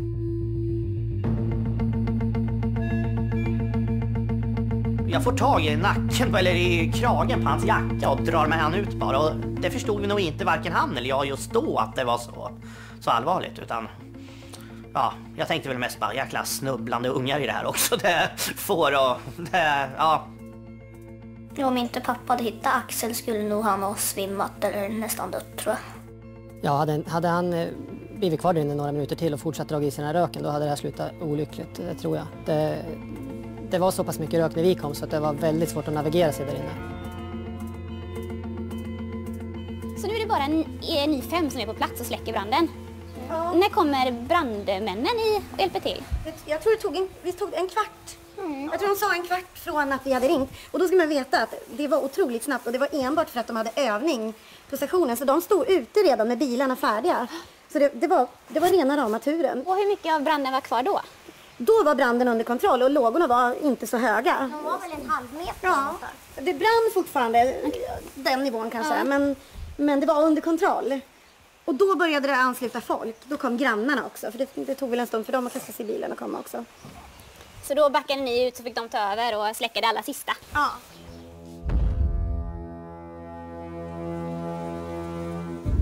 Ja, de upptäckte branden i ett ganska tidigt skede och, och eh, jag tror ju att deras insats räddade ju säkert livet på båda de här fåren och säkert förhindrade de stora skador på byggnaden också. Det var en oerhörd tur att, eh, att de upptäckte det när de upptäckte det. Fem minuter, tio minuter senare hade ju kunnat bli en helt annan utgång på den här händelsen. Så kom ju ambulanserna och då berättade Freda att jag hade fått in mig mycket rök. Och jag stod ju där och hostade och hade ont i halsen och i lungorna. Och jag var yr i huvudet. Ja, Axel hade ju rökskador i lungan så jag var lite rädd för det. Att han kanske skulle få svårt att andas. Ja.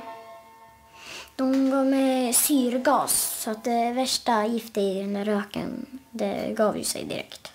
Axel klarar sig efter att ha fått hjälp av sjukvårdare. Och fåren, var alla fåren ute då? Mm, ja, de hade ju redan sprungit ner en bit. då. Ut mot sjöängarna. Och de var oskadda? Ja. ja. Alla får klarade sig. Det var ingen som skadade sig.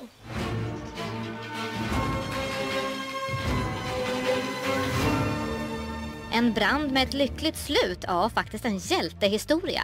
Tre pojkar i tioårsåldern räddade en hel gård och en mängd får från att brinna upp i Sjölunda utanför Arboga. Den ena pojken kastade sig upp i en traktor och körde den rakt genom ladugårdsväggen. Den andra pojken, bara nio år gammal, kastade stora hinkar fyllda med vatten mot lågorna. Och den tredje tog sig in i ladan för att få ut fåren.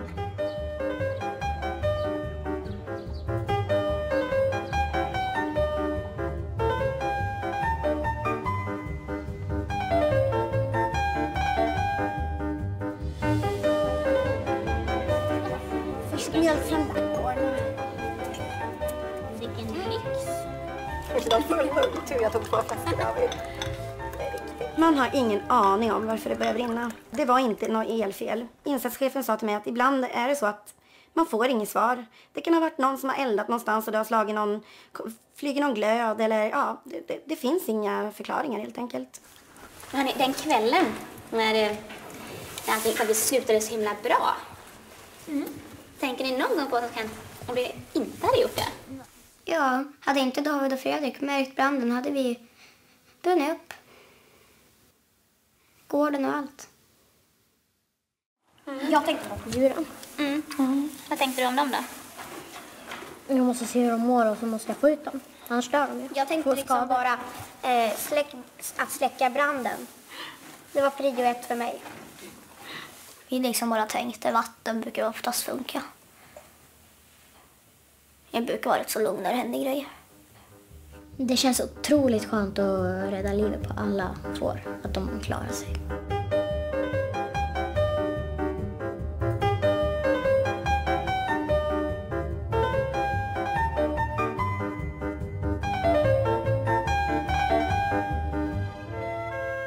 Nästa vecka i Extrema ögonblick.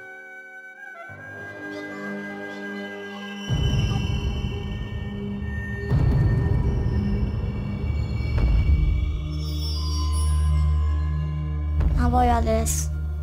Alltså, han rörde inte på sig och han andades inte.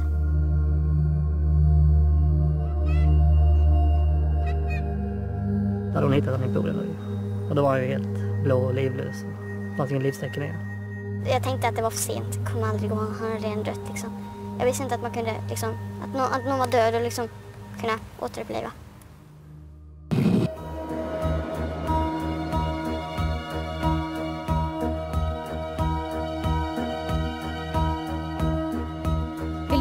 Ditt ögonblick? Gör det på barnkanalen.se.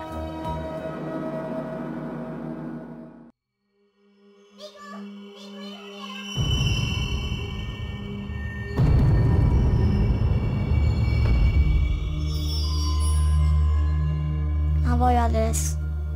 Alltså, han rörde inte på sig och han andades inte.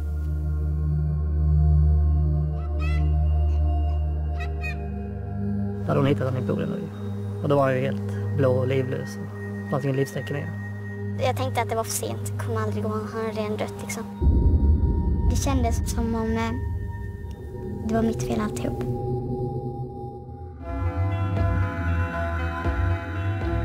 Överallt.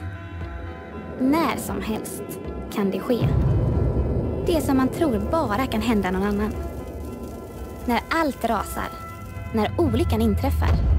När hjärtat stannar och börjar slå igen. Den här programserien handlar om de som var där. Då. När det hände. I vissa delar av programmet visar skådespelare hur det gick till.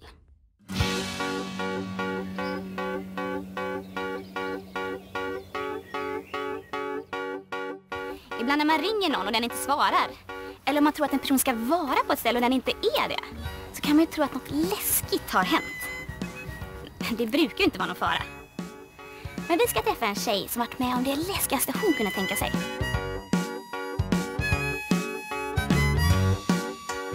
Vi är i småländska Markaryd. Ett fint litet samhälle med låga hus och lummiga gårdar.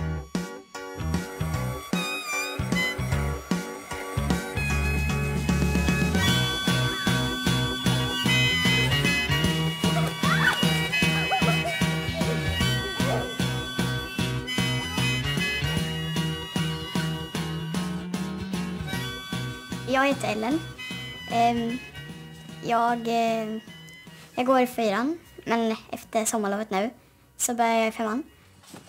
Eh, Min familj är mamma, pappa, Agnes, Ester och Viggo. Viggo är det yngsta barnet i familjen och Ellen det äldsta. Ellen är skötsam, noggrann, Mm. petig. Mm. Hon är snäll, hon visar omtanke. Och hon skinn på näsan har hon, hon är tuff. Ja, eh, Viggo han är väl eh, busig, har alltid någonting att göra. Han skrattar nästan alltid. Och eh, han kommer alltid på saker. Viggo är tokig. Ja. ja, jag vet inte vad man ska säga. Överallt. Överallt.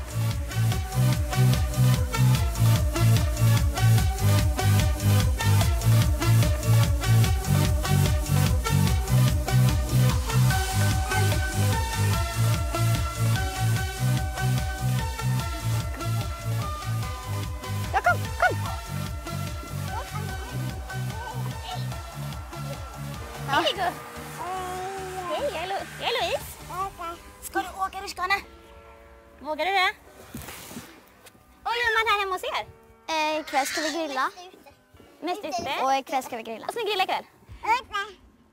Vem tar hand om han mest av utav er syskon? Jo. Det gör det? ja, det är bra. Stora syrran får hjälpa till. Och här kommer en, en liten hund också. Ja, det är Betty. Hej Betty. Betty har bara ett öga va? Eh, jag och grannens katt eh, blev, de började bråka och så rev katten henne i ögat så vi fick operera och väckte. Hon verkar glad ändå. Ja.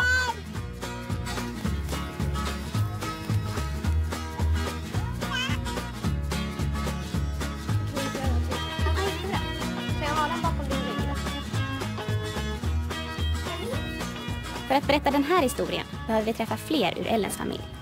Vi pratar om farmor, mormor och morfar också. Detta är morfar, det där är Viggo. Ja, det där vet är mormor. Precis, Viggo har jag koll på, men morfar och mormor. Ja. ja. Min morfar, han gillar ju bilar, precis som Viggo. Och han är alltid liksom glad och livlig och hoppig och ja, kan skoja om nästan allting. Helen är morfars flicka. Så, nej, men jag vet inte. Det är ju... Ja, det är något speciellt med henne för att det, det är första barnbarnet och hon är ju glad och god på alla vis. Ju det. Om man tittar på gamla kort och sånt så är hon ju helt fantastisk. Där. Jösses. Hej, hej. Hej, Hej, detta är farmor. Hejsan! Hej, Louise! Trevligt! Kolla där, jag har vi bara två kvar. Ja, men du hade... Vi har haft tre. Ja, visst. Varsågod. ska man absolut inte ska göra. Ellen, vad, vad säger du om du ska beskriva din familj? Eh, pinsamt ibland. vad är det som är pinsamt? Nej, de pratar om lite konstiga saker och som, eh, ja, typ Jag vet inte, men ni... Ja. Jo, säg. vad är- Nej, men de är så... Är det några kompisar över eller? Ja. Eller är det Då ska de hålla Ja, på. men jag tycker det är roligt att prata om killar och så med dem. Jag tycker ju det är kul. Min mamma, hon, eh, hon är inte som alla andra som har besatta regler så, utan hon är mer liksom, ja, ja, liksom. Ibland är det ju så rörigt så vi blir inte bjudna på kalas och festligheter längre för att eh, det är ingen som vill ha dit oss. Det är för många barn. Det är för många barn.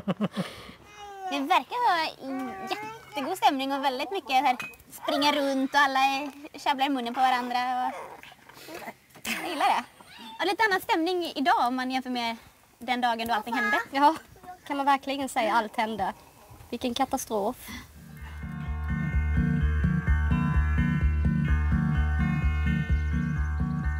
Stämningen på morgonen var ju bra. Det var fint väder, satt ute och drack kaffe och så ser jag ju på mobilen att jag har fått flera missade samtal under hela natten. Det är Ellens mormor som har ringt. Morfar ligger på sjukhus. Jag ringer upp mamma och får reda på att pappa har fått en hjärtinfarkt. Och vi bestämmer att jag ska åka iväg till Halmstad och få hälsa på pappa. Samtidigt är du hemma. Agnes Ester var hos en kompis.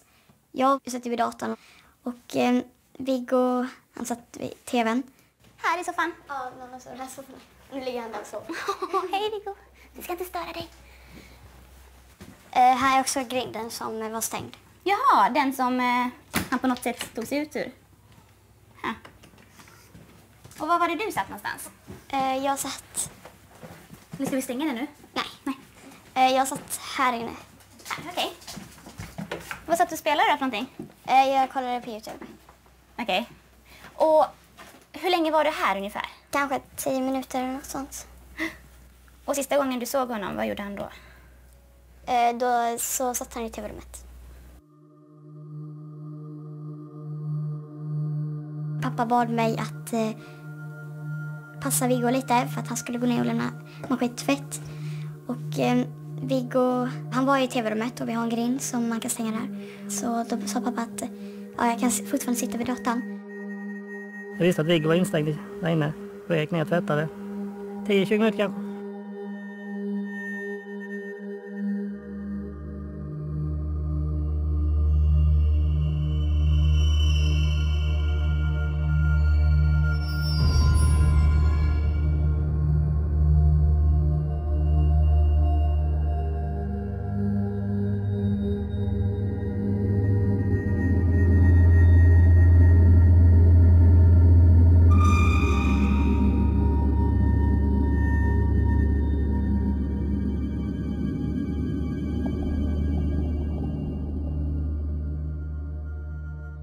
Kom jag upp så såg jag att grinden var öppen.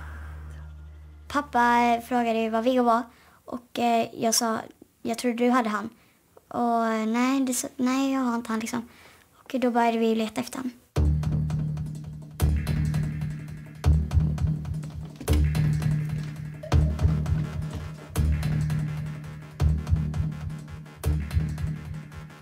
Först när vi letade huset kändes det som att han skulle vara där, men det var han inte.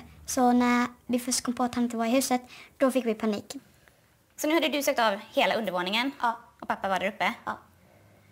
Fattar ni nu att han inte var inomhus? Ja, och det var då det började bli lite så här läskigt.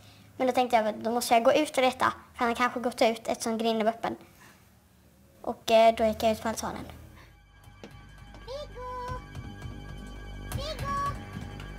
Och jag ner igen och så tänkte jag, "Ah, jag måste ju gått ut på gatan. Så jag for ner ut på gatan. Så när du kom ut här, hade du lite, då hade du lite panik? Ja. Vad är det första du gör? Eh, jag eh, ställer mig här och så ser jag ju ut här. Och eh, då, då såg jag ju bara att han låg där.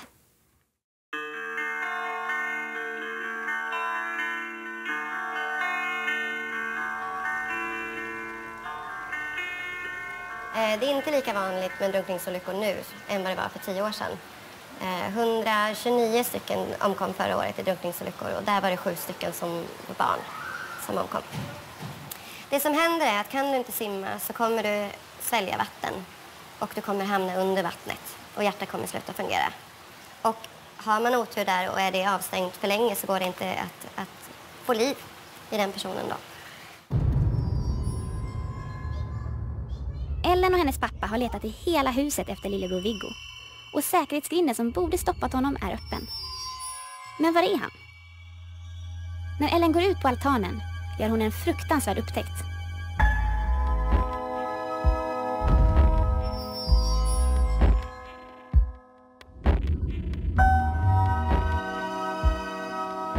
Och då ropade jag liksom pappa, pappa, jag har hittat honom. Ja, vad bra tänkte jag först. Men sen så såg jag ju att han, han var helt blå ju. Och han var riktigt blå. Så, ja, knallblå. Hela han. Då förstod jag att det här är allvarligt.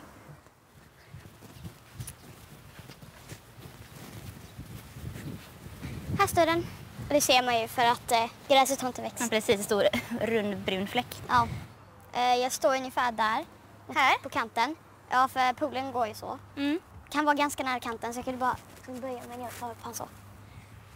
Men hur hade han kunnat ta sig över poolkanten? Eh, antagligen för att den satt i poolen. Och man, eh, från gräset så kunde man klättra upp där och så kan man åka ner i poolen. Okej, så det fanns en, eh, när rutschkanan satt här på något sätt? Ja. Okej.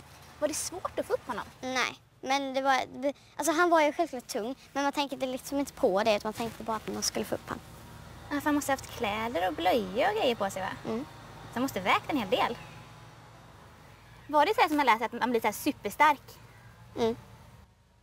Och det är helt otroligt att hon bara lyckades för han vägde ju, till och med jag tyckte han var tung. Han var full av vatten. Så det, är- nej, hon kämpade på. Om man verkligen vill så, alltså om man verkligen behöver också, så bara, man bara gör det liksom. Hur såg han ut när du fick upp honom? Han var alldeles blå. Överallt? Andades han? Nej. Han var ju alldeles, alltså han rörde ju inte på sig och han andades inte.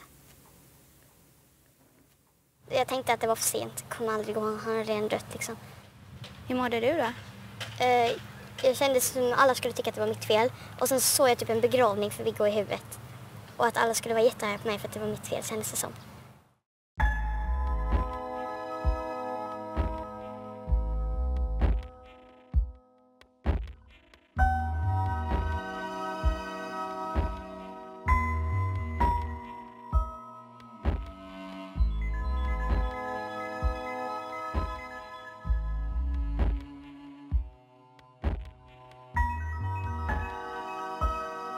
Jag tänkte det här är ju kört. Först tänkte. Men sen har man väl någon inre satt igång att jag måste ju göra vad jag kan. Så det var ju det jag började med. Jag måste ju att börja andas. Så ge honom syre. Syre, syre, luft, luft, luft. Det var det jag tänkte. Pappa trycker ju på hans mage. Var ligger han någonstans? Här. Här? Ja, och så trycker han på hans mage. Och eh, så blåser han in luft i hans mun. Och det kommer upp en massa vatten. Hur ser han ut? Han är fortfarande jätteblå. Men det var ingen som var livsäckande överhuvudtaget. Hur mycket jag än tryckte så hjälpte ingenting. Han var, det var som en, en död klump bara. Han tittade inte, ögonen var helt, var helt borta. Så jag förstod att han är ju borta. Jag visste inte vad jag skulle göra så jag gick mest in och försökte liksom lugna mig själv för jag var jättechockad. Det blåste, blåste, blåste. Fick mer och mer panik. Och Ellen kom ut och då såg hon ju hur illa det var med honom. Då blev hon ju ännu räddare. Kommer han dö, kommer han dö, skrek hon hela tiden.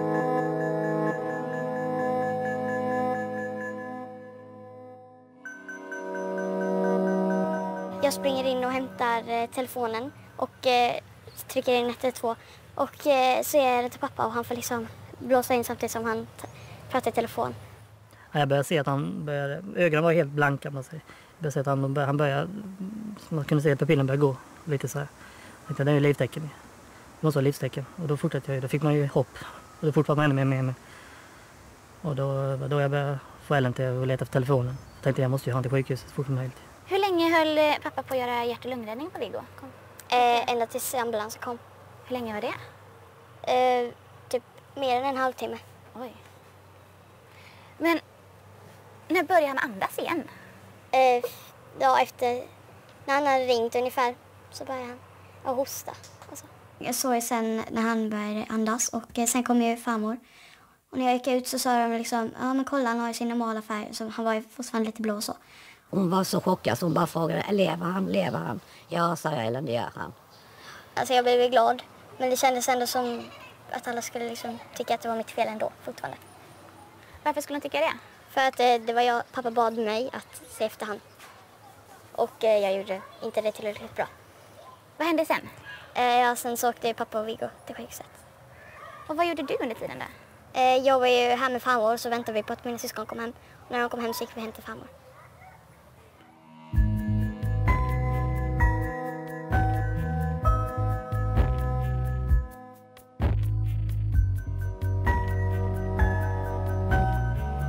Ellens pappa åker med Viggo i ambulansen till sjukhuset.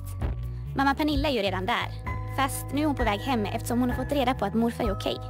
När telefonen ringer. Så sa de ring till din fru sa de. För jag sa jag måste ringa. Ja, så ringde jag till Pernilla.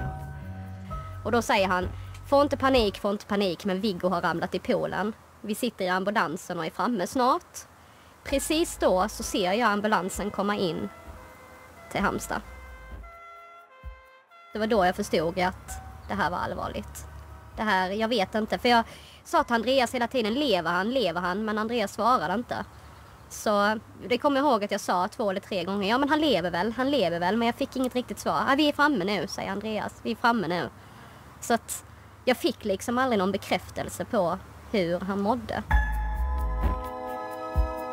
Det värsta jag har varit med om. Aldrig någonsin har jag blivit så... Och som någon slog undan benen för en.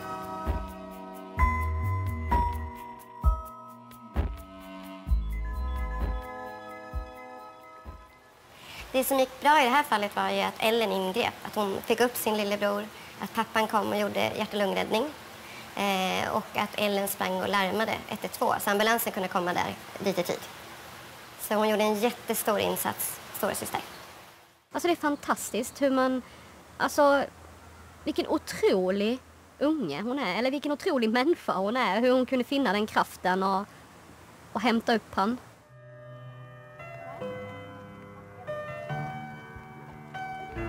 Hade inte hon hittat honom så hade ju, jag hade inte tänkt på att titta i poolen. Så. Det hade ju varit kört ju. Mm. Min tanke var ju vägen. Hon är på vägen. Ja. Eh, här är skolan. Aha. Allt det här? Japp. Vi kan gå detta hållet, man kommer ut här. Vad mysig den ser ut. Ja. För mig är hon ju hjälte. Det är ju fantastiskt. Han måste ju ha varit... Han måste ju ha vägt ett ton liksom. Man ska lyfta upp en livlös. Att hon ändå, att hon inte släppte honom när hon kände att det var inget liv. Hej farmor. Vad gjorde ni sen när ni kom hit? Eh, farmor fortsatte att laga sina pannkakor. Ja. Just det. Och så El Agnes och Ester. Men inte du va? Hon var så chockad så hon var inte hungrig. Och vad gjorde du istället? Eh, jag var på tomten och var med Sasha. Kommer du ihåg vad du tänkte när du var här? Eh, jag tänkte väl... Jag var väl mest rädd att det skulle hända någonting i ambulansen kanske. Ja. Att han kanske skulle sluta andas något. Och så hade du den här som sällskap? Ja. Ja, så ringde ju pappa sen och eh, då berättade han att allting var bra och att vi skulle, gå, att vi skulle få åka och hälsa på. Ja, det var så skönt att se Viggo. Han var ju med ett tag, men man såg ju att det var liksom han som satt där och... Mm. Men hur kändes det för dig att få hem Viggo efter tre, fyra dagar på sjukhuset? Eh, nej, men det kändes ju som att man kunde slappna av mer. Att eh, allting blev... Nu är det allting bra igen typ. Ja. Vi hade jättetur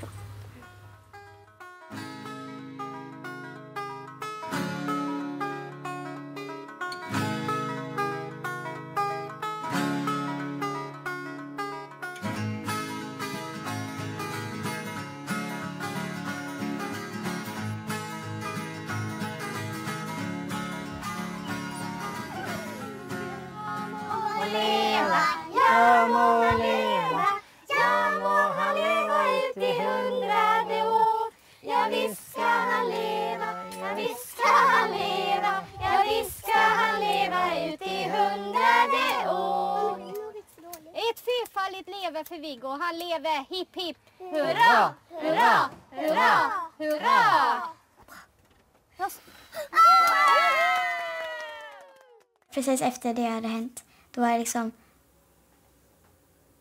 Ja, jag, var, jag ville ha koll på honom hela tiden och se vad han gjorde hela tiden och var rädd för allting han gjorde. Hon ville inte leka med några kompisar för hon ville vara i närheten av Viggo hela tiden. Det kändes precis som att har inte jag koll på honom så har ingen koll på honom. Det var precis som att hon vågade liksom inte släppa det. Jag blev lite orolig då när Ellen liksom inte litade på oss att vi kunde titta till Viggo utan hon hade väldigt, alltså hon passade honom hela tiden och var väldigt så att titta nu vad gör Viggo? Alltså hon hade väldigt jobbigt länge efter. Till slut så sa mina föräldrar att du måste ha kul också och inte bara vi tar hand om också. Du måste tänka så. Jag har en väldigt rolig lillebror. Kom, Viggo! Hej, kom! Kom! Ja! Ja, kom! Kom, kom! Alltså det är ju Ellens förtjänst att han lever för vi hade ju aldrig, eller Andreas tänkte ju inte på att kolla i poolen. Och då hade det... Så att hon, hon ska ju inte känna sig skyldig. Åh. Och... Jag hade inte hon hittat den så hade det inte funnits idag. Det är bara så. Det hade tagit lång tid innan jag, jag var ju långt in på gatan. Innan jag hann tillbaka då hade ju inte han, det är ju minuter räknas ju. Så hon hade väl. Nu känns det ju bra för jag vet att det inte var mitt fel. Jag känner ju obeskrivlig lycka över att det gick så bra som det gjorde. Både med min pappa och framförallt med Viggo. Hallå, Hultasbarnet. Ja, kaka. Här är kaka. Vill du ha tårta? Vill du ha tårta? Vill du ha? Mm, då får du ta ut nappen. Oh oh.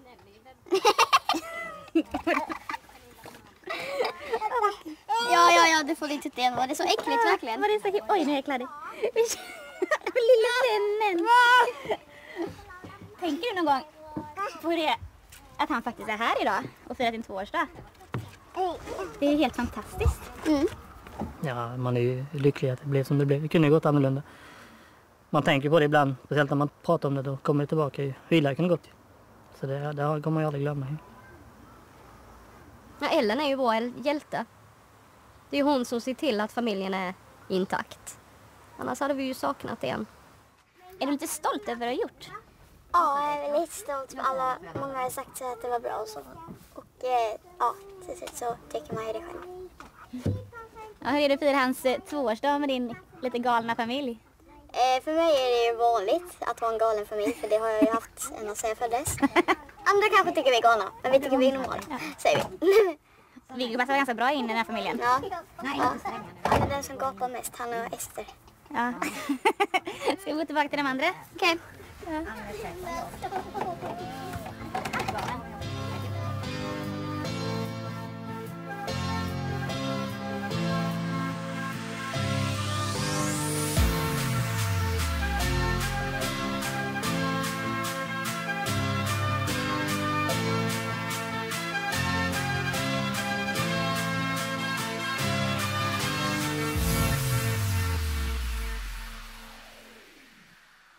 Nästa vecka i Extrema ögonblick. Det var ju december då och det var väldigt, väldigt kallt ute. Den där dagen skulle vi gå och kolla vår koja och äta mellanmål. Vi hade aldrig gått så långt in i skogen och jag trodde aldrig att vi skulle gå så vilse som vi gjorde då. Det läskigaste var nog att ingen hade hittat oss och det hade gått ganska lång tid. Då blir man ju riktigt, riktigt rädd och ja, man vill ju bara hem då. Det finns ju många faror för barn om de går vilse i skog och mark. Om det är en kall årstid till exempel, då har vi kylan, så man förfryser sig helt enkelt. Ett tag så gav vi nästan upp. Jag tänkte att man, vi aldrig skulle komma hem.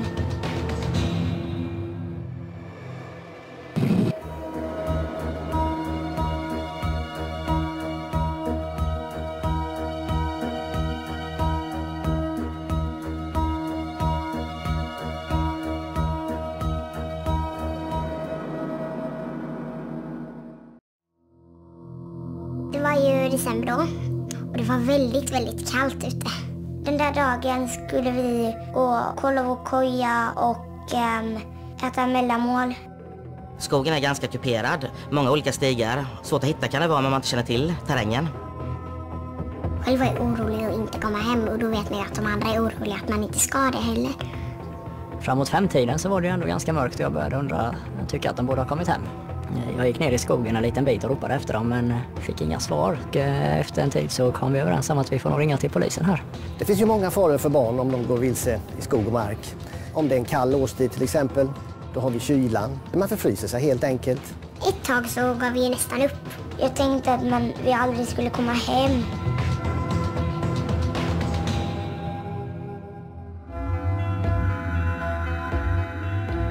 Överallt. När som helst kan det ske. Det som man tror bara kan hända någon annan. När allt rasar. När olyckan inträffar. När hjärtat stannar och börjar slå igen. Den här programserien handlar om de som var där. Då, när det hände. I vissa delar av programmet visar skådespelare hur det gick till.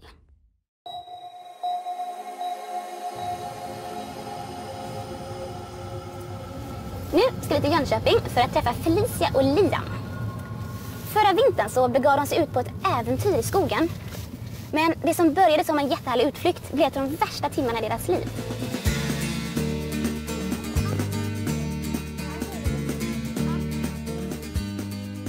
När solen gått ner och de ännu inte kommit hem så anmäldes de försvunna hos polisen. Men vad var det som hände egentligen? Det ska vi ta reda på nu.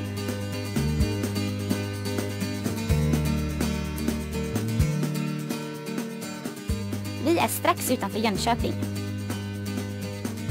Nej, nej, nej, nej gossan, nu räcker det. Om jag ska tänka det bästa med att ha Liam som kompis så är det nog att man är väldigt snäll och rolig och lite sånt där. Felicia gillar att vara ute i skogen och så gillar hon att prata ganska mycket.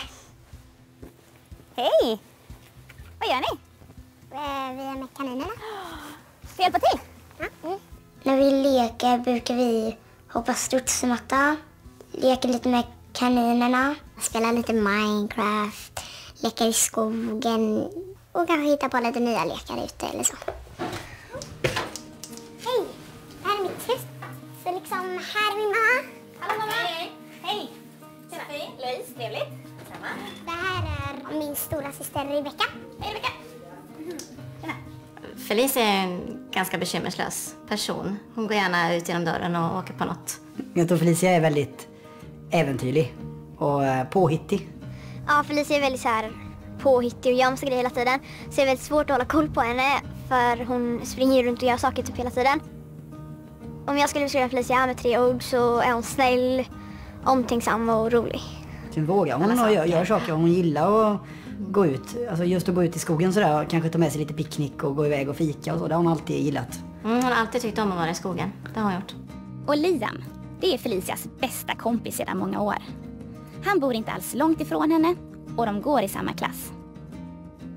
Liam är väl ofta eh, glad tycker jag och eh, lite försiktig av sig kan han ofta vara tycker jag annars. Han är den som gärna när man är på Liseberg och sånt är lite försiktig och inte riktigt vågar utan sen gör han det för stora syster det. Och likadant med vattenrutschbana och sånt. Sen lite mer försiktig. Funderar mycket innan han gör någonting. Här är en klänning vi sitter. Åh, den är Och vår lilla syster. Kom hit där, Sara.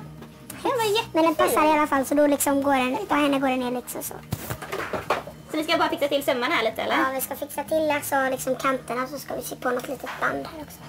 Det bästa med att vara ute i skogen eh, det är nog att ja, man kan eh, ganska mycket springa runt och kanske ja, göra lite grejer man inte kan göra hemma. När vi är ute i skogen brukar jag både bestämma lite var vi ska gå och vad vi ska göra. Snyggt! Har du satt plast under? Nej, tejp. Tejp menar jag. Gud vad bra! Vilket bra bus! Det var ju superbra. Felicia och Liam bor i ett lugnt område med nära till naturen. Och där är de ofta. Mamma, oh, oh. Ditåt eller ditåt? Ditåt. Ditåt? Okej. Vem är bäst att göra på att bygga kojar då? Jag! Nej, jag gör det. Men jag är lite Har ni olika kojtekniker? Mm, här, du är bra på att bygga, jag är bra på att hitta pinnar. Aha! Aha.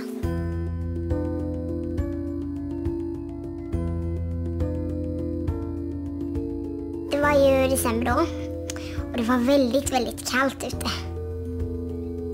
Den där dagen skulle vi gå och kolla vår koja och äta mellanmål. När vi är ute då så först går vi bara i skogen och sen kommer vi till en tunnel som vi går under. Och då kom en joggare och joggade förbi oss. Jo, jag var ute och joggade då, en runda som jag brukar jogga uppe i Barnarp. Kom ner vid ett sandtag, vid Dammhagen heter det. Och eh, där träffade jag på barnen då. Och de stod där och såg jätteglada ut och så. Så det, det var lugnt vid den tiden i alla fall. Skogen är ganska kuperad, många olika stigar och jag kan tänka mig att det är svårt att, svårt att hitta kan det vara om man inte känner till terrängen. Någonstans, plötsligt, blir de osäkra på var de är. Hur har de gått egentligen? Och hur ska de gå för att komma tillbaka? Ser vi ju en ryttare rida förbi. Vi tänker fråga om vägen hem.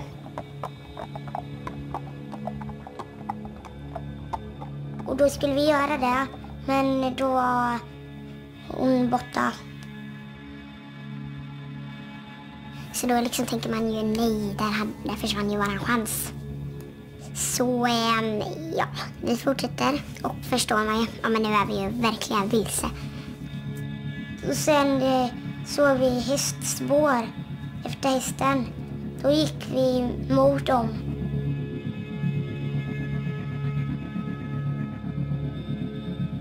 Till slut tog de slut.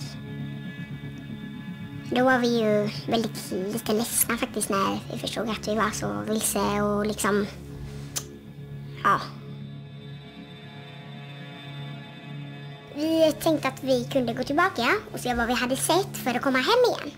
Så det försökte vi med och det gick inte så bra för det har ju hänt att man har gått i någon vägkorsning och går man då tillbaka så minns man ju inte var det vänster här, var det höger här, var det framåt eller bakåt eller.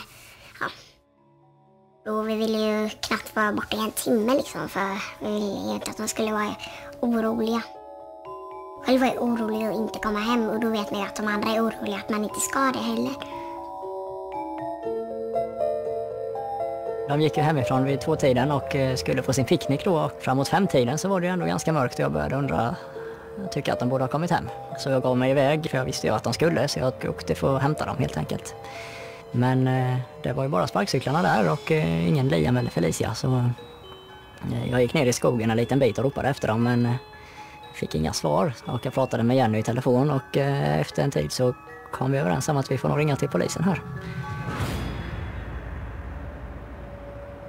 Vi fick larmet klockan eh, 20 i sju på kvällen. Och då skickar ledningscentralen ut eh, bilar hit ut till Barnarp, till skolan. Man försöker att få så mycket uppgifter om barnen, vad barnen håller till, vad, vad, vad de gör och vad, vad de hade för avsikt. De sista som har pratat med dem, vad, vad, vad har de berättat, vad skulle de göra?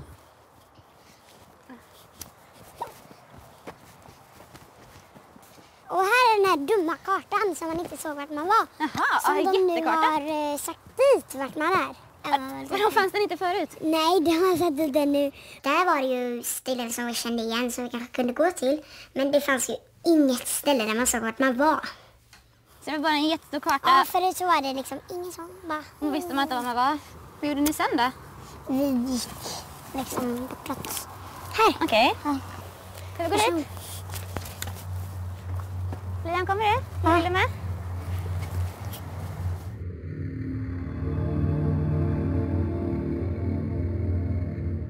Var vid jordstugan så var det ju liksom ingen där och det var lite övergivet.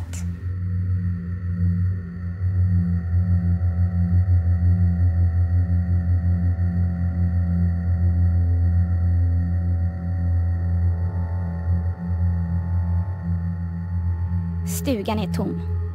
Och just nu vet ingen var de är. Vad ska de göra? Det är mörkt och det är bara några plusgrader ute. Vi gick in på Aftonbladet och då så såg vi alla de här att det stod om dem. Och då klickade vi på dem då var det någon Aftonbladet där de pratade om det. Och eh, sen så blev det ju inte bättre av att de sa att det liksom var kallt och att, de, att det inte var säkert att de liksom levde ens. Så då blev man väldigt, väldigt rädd. Det finns ju många faror för barn om de går vilse i skog och mark.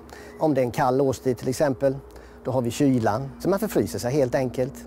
Andra årstider är det då att man kan gå ner i, i något kärr, något vattendrag och eh, till och med kanske drunkna.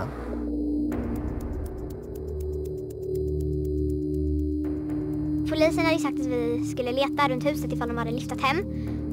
Då så gick jag och min kompis ut då och skulle leta och då var det väldigt läskigt när man skulle öppna typ cykelförrådet för det var mörkt ute. Så tänkte man bara, tänk om någon hade lagt dem där de ligger där och typ är skadade eller någonting. Så vi var ju väldigt rädda för vi trodde ju att de kanske var där inne men det var de inte.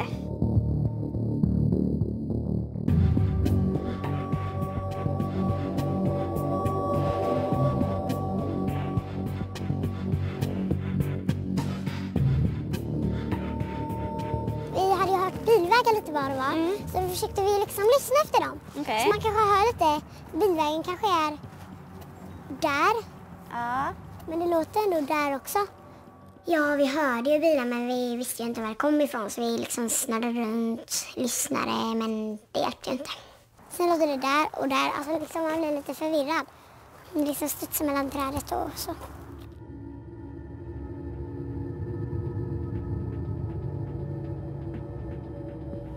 Ett tag så gav vi nästan upp. Jag tänkte att man, vi aldrig skulle komma hem.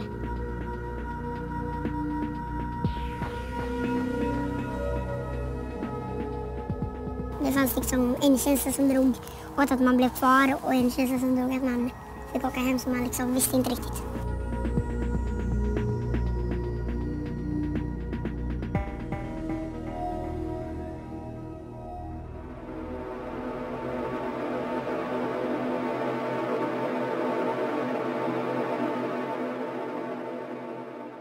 När det har gått några timmar och man fortfarande inte vet så, så blir man ju orolig.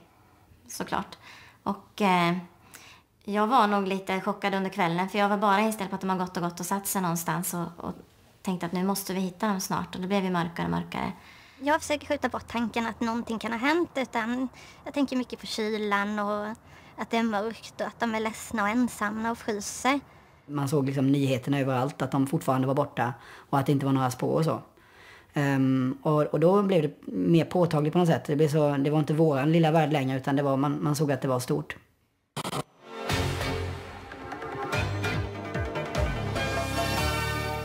God kväll och välkommen till Smålandsnytt. Liam och Felicias utflytt i kojan har hamnat i nyheterna. Och på Facebook bildas en grupp som hjälper till att hitta dem.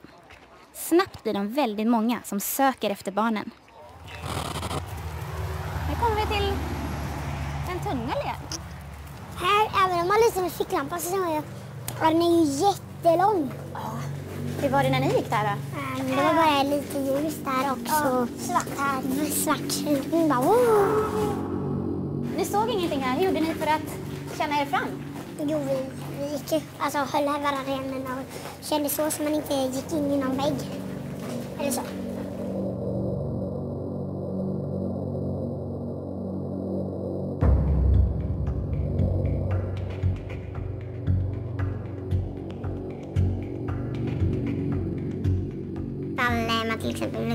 Gå på toa eller så, så hängde vi upp en plastpåse på en pinne. Och så länge man såg den påsen då fick man liksom gå iväg. Men man fick inte gå längre än att man såg den. Liksom. Så att man inte tappade bort varandra.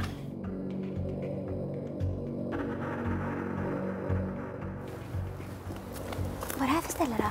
Det här är ett ställe där det var en massa hundar och sånt. Och de skäller väldigt mycket när de går förbi. Lite läskigt. Vi tänkte ju att vi kanske kunde ha chans att knacka på. Men eh, när vi stod här då så eh, var vi rädda att hundarna inte var barnvana eller ja, vi vågade liksom inte gå och knacka på hos dem när hundarna var där. För man vet ju inte om hundarna kan springa upp till huset eller hur det är. Därför så gick vi lite till och så vände vi tillbaka till jordstugan så gick vi och satte oss på ett ställe. Ska vi gå ditåt? Ja.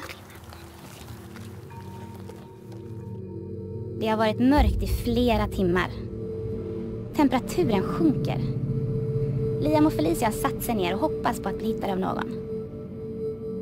När vi sen eh, hade satt oss ner så började vi ropa och varje gång vi hörde polissirener, för det hörde vi tre gånger, och polishelikoptern hörde vi men det lät som ett flygplan, då ropade vi extra högt.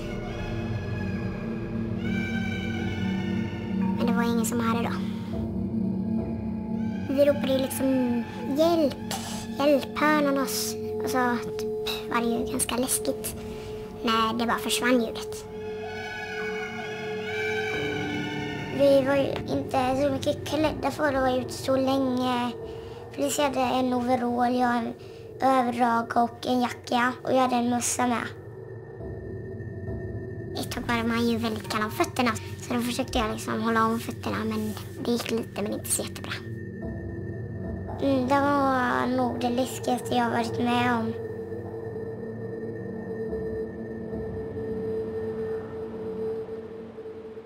Ja, ju längre tid som går efter vi har fått in då att barnen är borta så kan de alltså röra sig på ett större område. Sökområdet kan bli eh, rätt så avsevärt mycket större än när man fått en tidig information om om någon har sett dem eller Men minns ni löparen som de träffade i tunneln?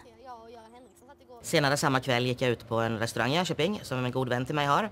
Och eh, vi satt och pratade lite och så surfade jag på nätet och såg på riksmedia på nätet och även lokal media att två barn hade försvunnit i ett skogsområde i Barnarp då. Jag förstod att det var de barnen och, och ja, hörde av mig direkt.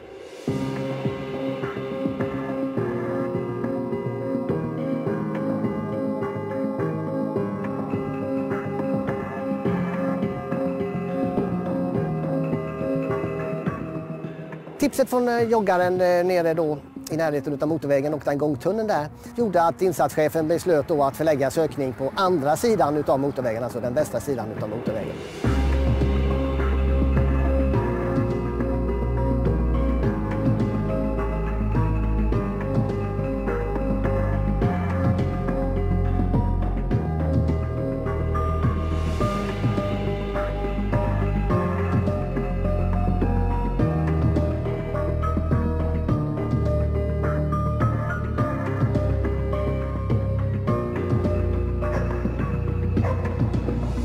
Sökningsarbetet i skogen hittar vi då en plastpåse som vi tror att barnen kan ha haft med sig eller haft någonting i.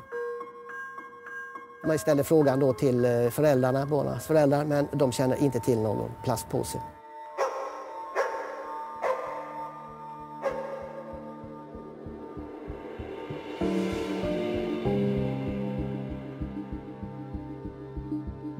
Liam han var ju väldigt ledsen och då försökte jag ju trösta honom. Hon säger väldigt mycket, kommer de inte snart, jag vill hem. Hon kom på olika lekar och sen skämtar hon ibland. Så man blir gladare.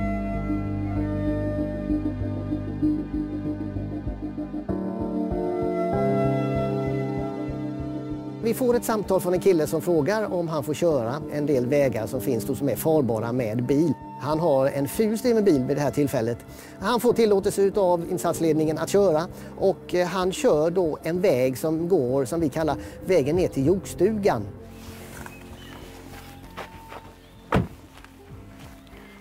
Det var här jag började leta den här kvällen när det var mörkt och kallt ute och inte lika ljust och fint som nu. Och då visste jag ju fortfarande inte vad barnen hette så då fick jag ropa hallå, du, är det, ni? Är det någon här? Och sprang omkring och letade.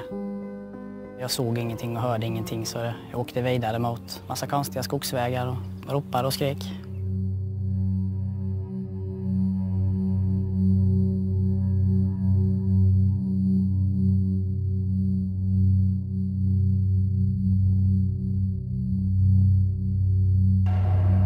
Helt plötsligt så ser vi bara lyset så. Vi vet inte vem det är. Vi hör bara någon ropa vilka är ni? Och man har ju alltid inte pratat med främlingar av föräldrarna.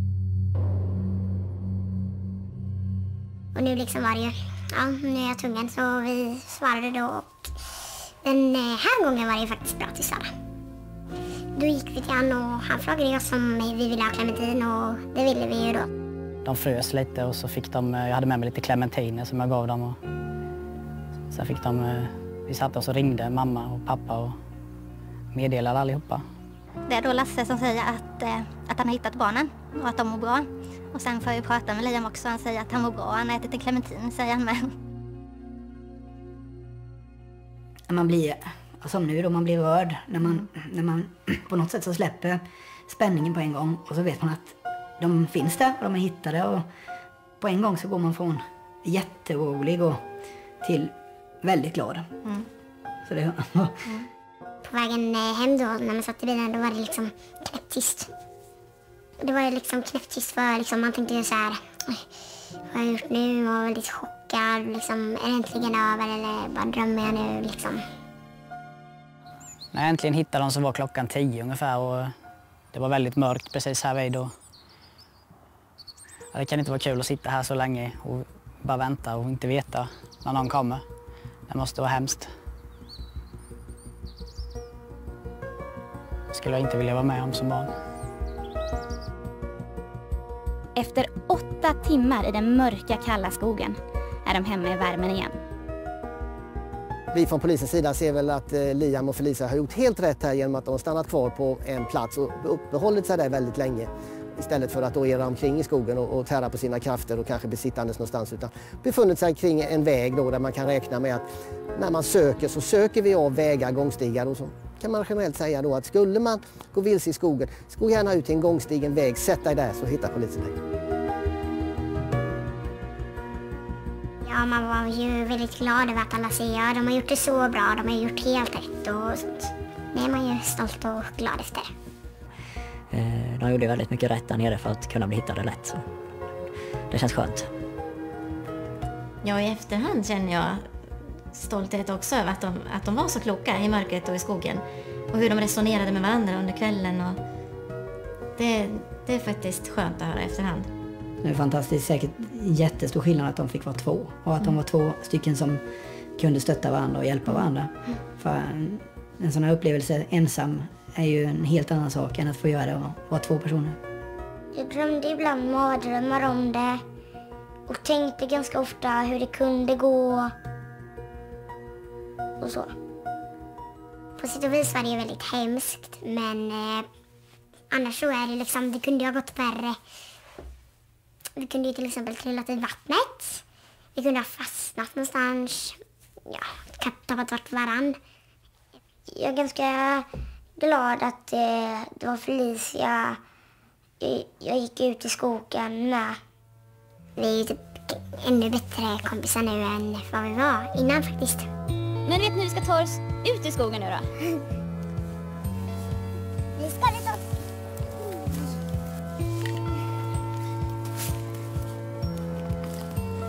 Är du rädd Louise? Nej, inte så värst. Jag är med er. Ja men eh, jag förstår att du inte är rädd med oss experter. Ja, precis. Det kan jag det här med att komma ut i skogen nu, vet jag precis. Ja, Jag känner mig riktigt trygg med er.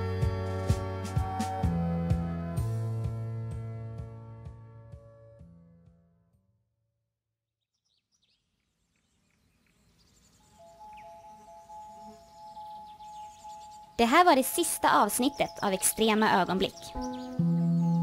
Vi har fått tio olika historier berättade för oss. Verkliga händelser. Det handlar om det där lilla extra. Det där vi inte vet att vi kan eller vågar förrän vi tvingas göra det. När vi ska slåss mot en björn. När elden bryter ut. När livet runt dig plötsligt blir som en actionfilm. Om någon plötsligt försvinner. Eller när ett hjärta stannar. Det är sånt vi vet kan hända, men inte pratar om.